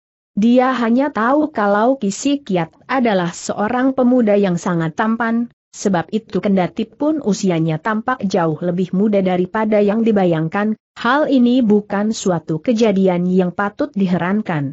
Cuma, pokok alasan yang menyebabkan dia salah mengenali orang adalah karena dia telah berjumpa dengan pemuda tersebut dalam selatong kusisya. Dia disuruh datang kemari membunuh Kisi Kiat karena Toan Kiam Cheng mendapat kabar yang mengatakan kalau Kisi Kiat telah menampakkan diri dalam selatong Kusisya. Padahal jalanan tersebut jarang sekali dilalui orang, sedangkan pemuda ini menyoren pedang, lagi pula dalam sekilas pandang dapat diketahui kalau dasar tenaga dalam yang dimilikinya amat sempurna, selain Kisi Kiat, siapa pula orang itu? Setelah merasa yakin kalau pemuda yang berada di hadapannya adalah Kisi Kiat, dengan membesarkan nyali dia berkata lagi, Piao ke, kakak Misan, kita belum pernah bertemu muka, tak heran kalau kau tak percaya perkataanku tadi, tapi aku mempunyai bukti yang menunjukkan asal-usulku yang sebenarnya. Oh ya? Kau mempunyai bukti apa yang menunjukkan bahwa kau adalah Nyoyan? Nyoyan segera menjawab, Sejak dilahirkan, aku mempunyai tanda yang khas, aku rasa Bibi pasti mengetahui akan hai ini bukan? Sewaktu Bibi menyuruhmu datang kemari mencariku, apakah dia tidak memberitahukan hal itu kepadamu? Tanda apa? N.Y. Oyan segera menggulung ujung bajunya tinggi-tinggi sehingga kelihatan tahi lalat merahnya di lengan kiri. Kemudian katanya dengan lantang, Piaoko, coba kau lihat ini. Sekarang, tentunya kau sudah percaya kepadaku bukan? Pemuda itu segera tertawa terbahak-bahak, haah, haah, haah betul, aku tahu kalau di atas lengan kiri N.I.O. yang terdapat sebuah tahi lalat merah, tapi sayang aku sudah tahu kalau kau bukan N.I.O. Oyan, sedangkan aku pun bukan Kisi Kiat. N.I.O. Oyan merasa amat terkejut siapakah kau teriaknya kemudian. Kau bertanya siapakah aku? Seingatku namaku yang sebenarnya kebetulan sekali mirip dengan namamu itu, ucap Seng pemuda dengan suara yang dingin seperti SNIO yang tertegun beberapa saat lamanya, setelah itu teriaknya tertahan, kau bilang apa? Aku bilang, kebetulan sekali aku juga bernama NIO Yan, bahkan kebetulan sekali aku pun mempunyai tahi lalat merah seperti milikmu. Apakah kau ingin melihatnya? Benar juga, di atas lengan kirinya benar-benar terdapat sebuah tahi lalat berwarna merah, bahkan jauh lebih segar dan merah daripada milik N.I. Oyan. Dalam terkejut dan takutnya, mendadak N.I. Oyan gadungan melompat ke udara, kemudian jari tangannya segera disodokkan ke atas dada N.I. Oyan asli, menghajar jalan darah kematiannya. Dia tahu ilmu silat yang dimiliki N.I. Oyan asli tentu lihai sekali, Itulah sebabnya begitu turun tangan dia lantas mempergunakan ilmu Louis Sinci untuk menaklukkan lawannya. Ilmu jari Louis Sinci tersebut merupakan ilmu sakti keluarganya apalagi setelah saling bertukar kepandaian dengan Toan Kiam Cheng, ia telah memperoleh kemajuan yang pesat dan jauh lebih tangguh daripada generasi sebelumnya. Sebab ini walaupun kepandaian itu baru mencapai 4-5 bagian, namun serangannya telah disertai dengan hawa panas yang menyengat badan. Kedua orang itu pada dasarnya memang berdiri saling berhadapan, asal mengulurkan tangannya maka tubuh lawan dapat tersentuh. Dalam anggapan N.I. Oyan Gandungan, sekalipun serangannya itu tak sampai menotok jalan darah lawan, dengan kekuatan Louis Sinci, paling tidak ia dapat melukai lawannya. Siapa turun tangan lebih dulu dia tangguh, Siapa turun tangan belakangan dia celaka berada dalam keadaan demikian, tentu saja dia tidak mempersoalkan menang kalahnya lagi, yang penting adalah beradu jiwa dengan N.I. Oyan asli. Tampaknya N.I. Oyan asli sama sekali tidak berjaga-jaga jalan darah Tian Ki Hiat di atas dadanya segera kena disodok dengan telak. Jalan darah Tian Ki Hiat merupakan salah satu jalan darah kematian di tubuh manusia, barang siapa terkena serangan, Sekalipun tidak mati, paling tidak juga akan terluka parah. Mimpi pun N.I.O. Yan Gadungan tidak menyangka kalau serangannya akan berhasil dengan begitu mudah. Dalam detik tersebut, hatinya merasa girang sekali. Dia aam, seseorang segera roboh terjengkang ke atas tanah. Tapi yang roboh ternyata bukan N.I.O. Yan asli. Rupanya ketika N.I.O. Yan Gadungan sedang merasa kegirangan setengah mati, mendadak dia merasakan. Munculnya segulung aliran tenaga yang amat besar menyusup masuk lewat ujung jaria. Belum lagi suara tertawanya berkumandang, tahu-tahu tubuhnya sudah termakan oleh segulung tenaga pantulan maha besar yang membuat tubuhnya terjengkang dan roboh terlentang di atas tanah. Sambil tertawa Yan Oyan asli berkata, ilmu totokan jalan darahmu itu memang hebat cuma sayang, pertama, ilmu itu belum mencapai taraf kesempurnaan, kedua, nasibmu kurang mujur, justru yang kau jumpai orang yang dapat menggeser kedudukan jalan darah seperti aku. Rupanya meski dia berhasil merobohkan NIO yang gadungan dengan getaran tenaga dalamnya, toh dadanya terasa panas dan linu sekali, perasaan sakit dan panas itu baru pulih kembali setelah dia mengatur napas berulang kali. Nah, berdebah. Sekarang mengaku terus terang, mengapa kau menyaru sebagai diriku bentak N.I. Oyan asli. N.I. Oyan gadungan membungkam seribu bahasa. Menyaksikan musuhnya membungkam, sambil tertawa dingin N.I. Oyan berkata lagi, sekalipun tidak kau katakan, aku juga tahu, bukankah Toan Kiam Cheng yang menyuruh kau berbuat demikian? Kalau toh sudah kau ketahui, kenapa mesti ditanyakan lagi? Baik, Ucapan Oyan kemudian dengan dingin, aku tak akan bertanya apa-apa kepadamu. kau senang berbaring berapa lama di sini, berbaringlah berapa lama di situ. Selesai berkata, dia benar-benar beranjak pergi meninggalkan tempat itu. Tindakan tersebut benar-benar di luar dugaan N.I. Oyan Gadungan, pikirnya kemudian, apa bocah keparat ini cuma bergurau saja denganku? Dia tidak percaya kalau N.I. Oyan asli akan melepaskan dirinya dengan begitu saja, tapi N.I. Oyan benar-benar telah beranjak pergi meninggalkan tempat itu tanpa berpaling lagi. Mendadak N.I. Oyan Gadungan berteriak keras, N.I.O. Xiao Hiap, harap kau kembali. Apa yang ingin kau ketahui, aku bersedia untuk memberitahukan kepadamu. Teriakannya amat keras, bagaikan binatang buas yang sedang terluka. Ternyata pada saat itu dia sedang merasakan suatu penderitaan dan siksaan yang luar biasa hebatnya. Rupanya dia sudah kena dilukai oleh Hen Ye Oyan dengan ilmu Sao Yang Sin Kang yang menyerang delapan urat nadi penting di tubuhnya, Kini luka tersebut sudah mulai kambuh. Sao Yang Sin Kang merupakan tenaga dalam bumi aliran Tian San Pei, tapi oleh N.I.O. yang telah dibaurkan dengan ilmu sakti dari negeri Tian Tok sehingga aliran lurusnya dikurangi beberapa bagian dengan penambahan aliran keras. Begitu luka tersebut mulai kambuh, N.Y. Oyan Gadungan segera merasakan di dalam tubuhnya seakan-akan terdapat beribu-ribu ekor ular kecil yang sedang menggigiti sekujur badannya, selain gatal juga sakitnya bukan kepalang, sungguh merupakan suatu siksaan yang luar biasa hebat dan mengerikan. Sambil tertawa dingin, pelan-pelan N.Y. Oyan berjalan mendekat lalu berkata, kali ini, kaulah yang mengundangku kembali, bukan aku yang memaksamu mengaku. Berada dalam keadaan demikian, tentu saja N.I.O. Yan Gadungan tidak berani membantah, terpaksa dia merengek tiada hentinya, benar, benar. Nenek moyangku, ampunilah selembar jiwaku, apa yang ingin kau ketahui, aku bersedia memberitahukan semua. Ketika selesai mengucapkan kata-kata tersebut, napasnya sudah tersengal-sengal seperti kuda. N.Y. Oyan segera menggerakkan tangannya dan menepuk beberapa kali di atas tubuhnya, seketika itu juga penderitaan yang dialaminya jauh lebih berkurang, cuma badannya itu tetap tak dapat bergerak. Siapa namamu? Mengapa menyaru aku bentak N.Y. Oyan dengan suara yang nyaring?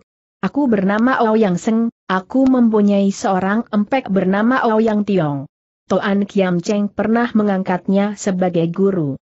Toan Kiam Cheng bilang wajahku agak mirip dengan wajahmu, maka dia lantas menceritakan semua kejadian perihal dirimu semasa masih kecil, kemudian dia pun menyarukan wajahku sesuai dengan hayalannya atas raut wajahmu setelah menginjak dewasa, kemudian memberikan sebuah tahi lalat merah di atas lenganku. Ilmu silat yang dia miliki jauh lebih hebat daripada kepandaianku, bila aku tak mau menuruti perkataannya, dia pasti akan membunuhku. Dia menyuruh aku menyaru sebagai dirimu untuk membohongi Kisi Kiat. N.Y. Oyan segera mendengus. HMM, mengapa dia menyuruh kau menipu Kisi Kiat tegurnya kembali. Dia tahu kalau Kisi Kiat sedang mencarimu, dia tak ingin membiarkan kalian berdua saling bersua muka. Sekarang Toan Kiam Cheng berada di mana? Ao yang Seng khawatir kalau N.I. Oyan memaksanya untuk mengantar pemuda itu mencari Toan Kiam Cheng, untuk beberapa saat lamanya dia menjadi sangsi dan tak tahu harus berbicara sejujurnya atau bohong. Sambil tertawa dingin N.I. Oyan segera berkata, padahal aku sudah tahu di manakah dia berada sekarang, aku hanya ingin mencoba kejujuranmu saja, aku ingin tahu apakah kau sedang berbohong atau tidak. Mendengar perkataan itu, Ao Yang Seng merasa amat lega, sambil menghembuskan napas, pikirnya, apabila dia benar-benar sudah tahu maka kemungkinan besar tak akan menyuruh aku menunjukkan jalan. Maka dia pun mengaku sejujurnya. Kini Tuan Kiam Cheng berada di Lor Anki. Dari ucapan tersebut, N.Y. Oyan mendapat tahu bahwa berita yang diperoleh Kisi Kiat tentang Tuan Kiam Cheng memang tidak salah, maka dia berkata, baik, anggap saja kau memang tidak berbohong. Hukuman mati boleh kau hindari, tapi hukuman hidup tak bisa kau tolak, sekarang akan ku suruh kau mencari kehidupan sendiri di tempat ini.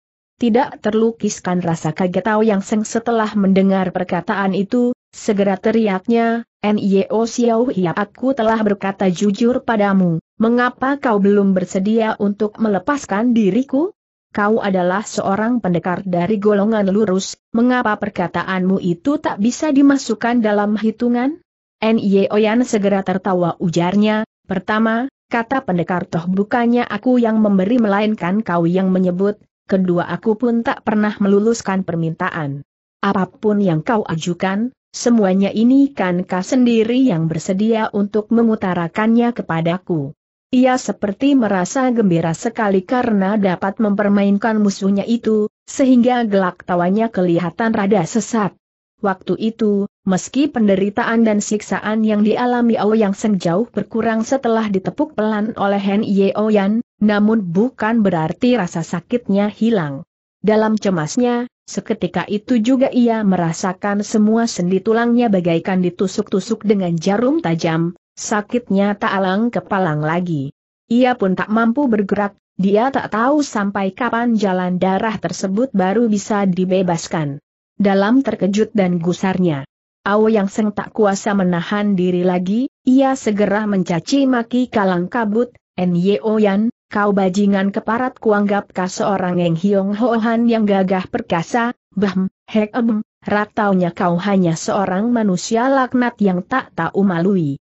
Bagaimanapun juga N.Y. Oyan adalah seorang pemuda yang baru berusia 18 tahun maka tak tahan menghadapi caci maki seperti ini. Mendadak ia berpaling, sambil tertawa dingin katanya, aku tak pernah menganggap diriku sebagai seorang enghiong hohan, tapi sebutan manusia laknat yang tak tahu malu itu tak pantas kalau diberikan kepadaku, sebab lebih pantas kalau kau terima sendiri.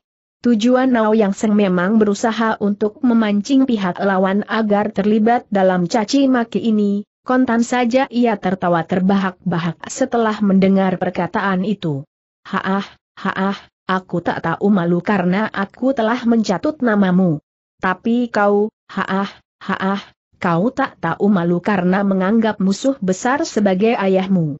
Haah, haah, haah, menganggap ayah sendiri sebagai bajingan, dari dulu sampai sekarang merupakan hal yang paling memalukan. Sekalipun kau tidak malu, aku jadi turut malu bagimu. Hijau mencemci paras muka N.I. Oyan setelah mendengar ucapan tersebut, pelan-pelan ia berjalan balik, lalu ujarnya dingin, baik, kalau kau ingin memaki aku, makilah sepuas hatimu. Pada mulanya Ao yang Seng mengira N.I. Oyan balik kembali karena ingin membunuhnya, siapa, tahu N.I. Oyan malahan menyuruhnya untuk melanjutkan caci maki tersebut, kejadian ini benar-benar berada di luar dugaannya. Rupanya dalam anggapan Nao Yang Seng, dalam keadaan demikian andai kata N.I. Oyan benar-benar meninggalkannya, maka ia bakal mati. Daripada sebelum tibanya ajal harus menderita banyak siksaan, lebih baik dia membakar hawa amarah N.I. Oyan agar dia dibunuh sekalian.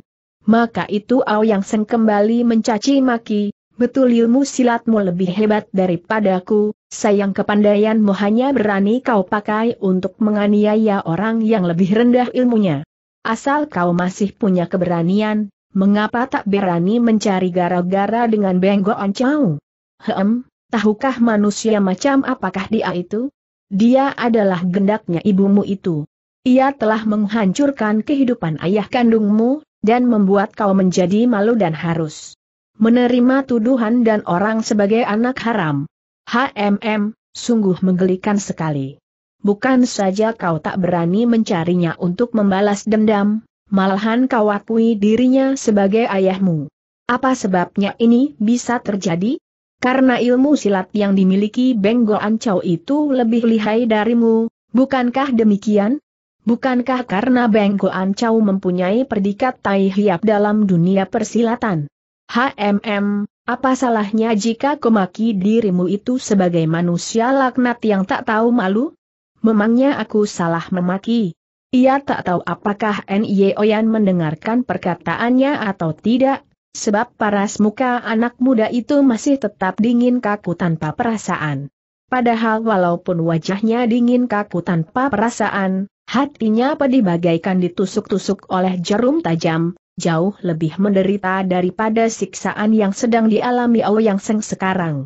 Seperti diketahui, ia telah berhasil mengetahui asal-usul dirinya yang sesungguhnya dari mulut Kisi Kiat, sekalipun dia mengerti bahwa Kisi Kiat tak akan mengawut atau membohonginya, namun dalam hati kecilnya masih ada perasaan yang enggan mempercayai kenyataan tersebut. Justru karena perasaan yang amat kalut itulah, ia membiarkan Nao Yang Seng memakinya. Walaupun sesungguhnya dia tak ingin mendengarkannya, namun ia tak tahan untuk mendengarkan juga. Makin memaki ucapan yang digunakan Nao Yang Seng makin kasar dan kotor, bahkan banyak kata tak senonoh yang mulai berhamburan dari mulurnya. Sekalipun begitu, apa yang dimaki orang itu hampir sama seperti apa yang diberitahukan Kisi Kiat kepadanya itu. Dalam pada itu, Yang Seng sudah hampir kehabisan tenaga karena memaki terus-menerus, ketika dilihatnya Yan Ye Oyan belum juga memberikan reaksi, tak tahan ia lantas berseru, bocah keparat, sebetulnya kau mempunyai rasa malu tidak? Mengapa tidak kau bunuh diriku untuk membungkam mulutku?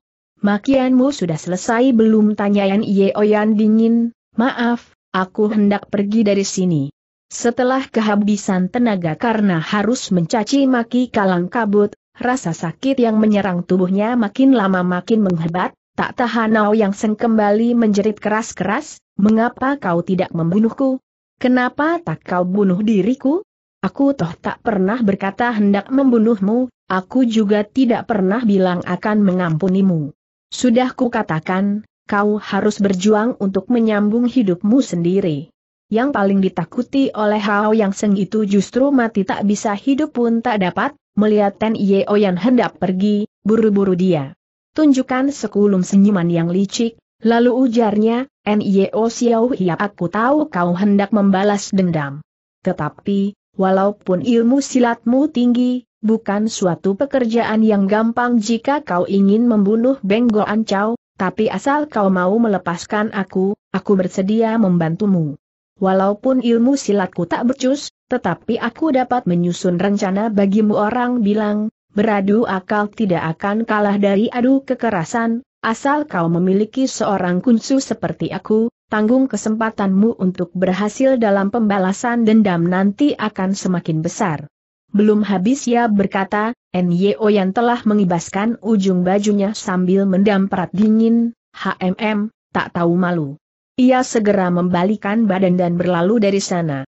Gagal dengan siasat yang satu Ao yang Seng segera mencoba dengan siasat yang lain, segera teriaknya, kau tak mempercayai perkataanku bukan? Baik, bagaimanapun juga kau hendak pergi mencari Toan Kiam Cheng untuk membuat perhitungan, asal kau dapat menemukan dirinya mungkin semua persoalan akan menjadi jelas. Cuma, Walaupun kau tahu kalau Toan Kiam Cheng berada di Lor Anki, kota Lor Ariki begitu besar, tidak gampang untuk menemukan dirinya di sana. Bagaimana kalau ku bantu dirimu untuk mencarinya? Kali ini N.I. Oyan sama sekali tak menjawab walau hanya sepatah kata pun juga, malahan dia mempercepat, langkahnya meninggalkan tempat itu. Ao yang Seng menjadi gelisah sekali, mendadak ia teringat akan seseorang yang mungkin akan menarik perhatian N.I. Oyan, buru-buru teriaknya dengan segenap tenaga yang dia miliki, Hei, hei, apakah kau ingin mengetahui kabar berita Leng Pingji? Kini selembar jiwanya sedang terancam bahaya, ia sedang menunggu orang untuk menolongnya, kecuali aku seorang tak mungkin ada orang lain yang akan mengetahuinya. Sementara di hati kecilnya dia berpikir, Leng Pingji begitu mencintainya aku rasa tak mungkin ia tak akan menggubris dirinya. Yang dikhawatirkannya sekarang adalah bila N.I. Oyan sudah keburu pergi jauh sehingga tidak mendengar semuanya itu.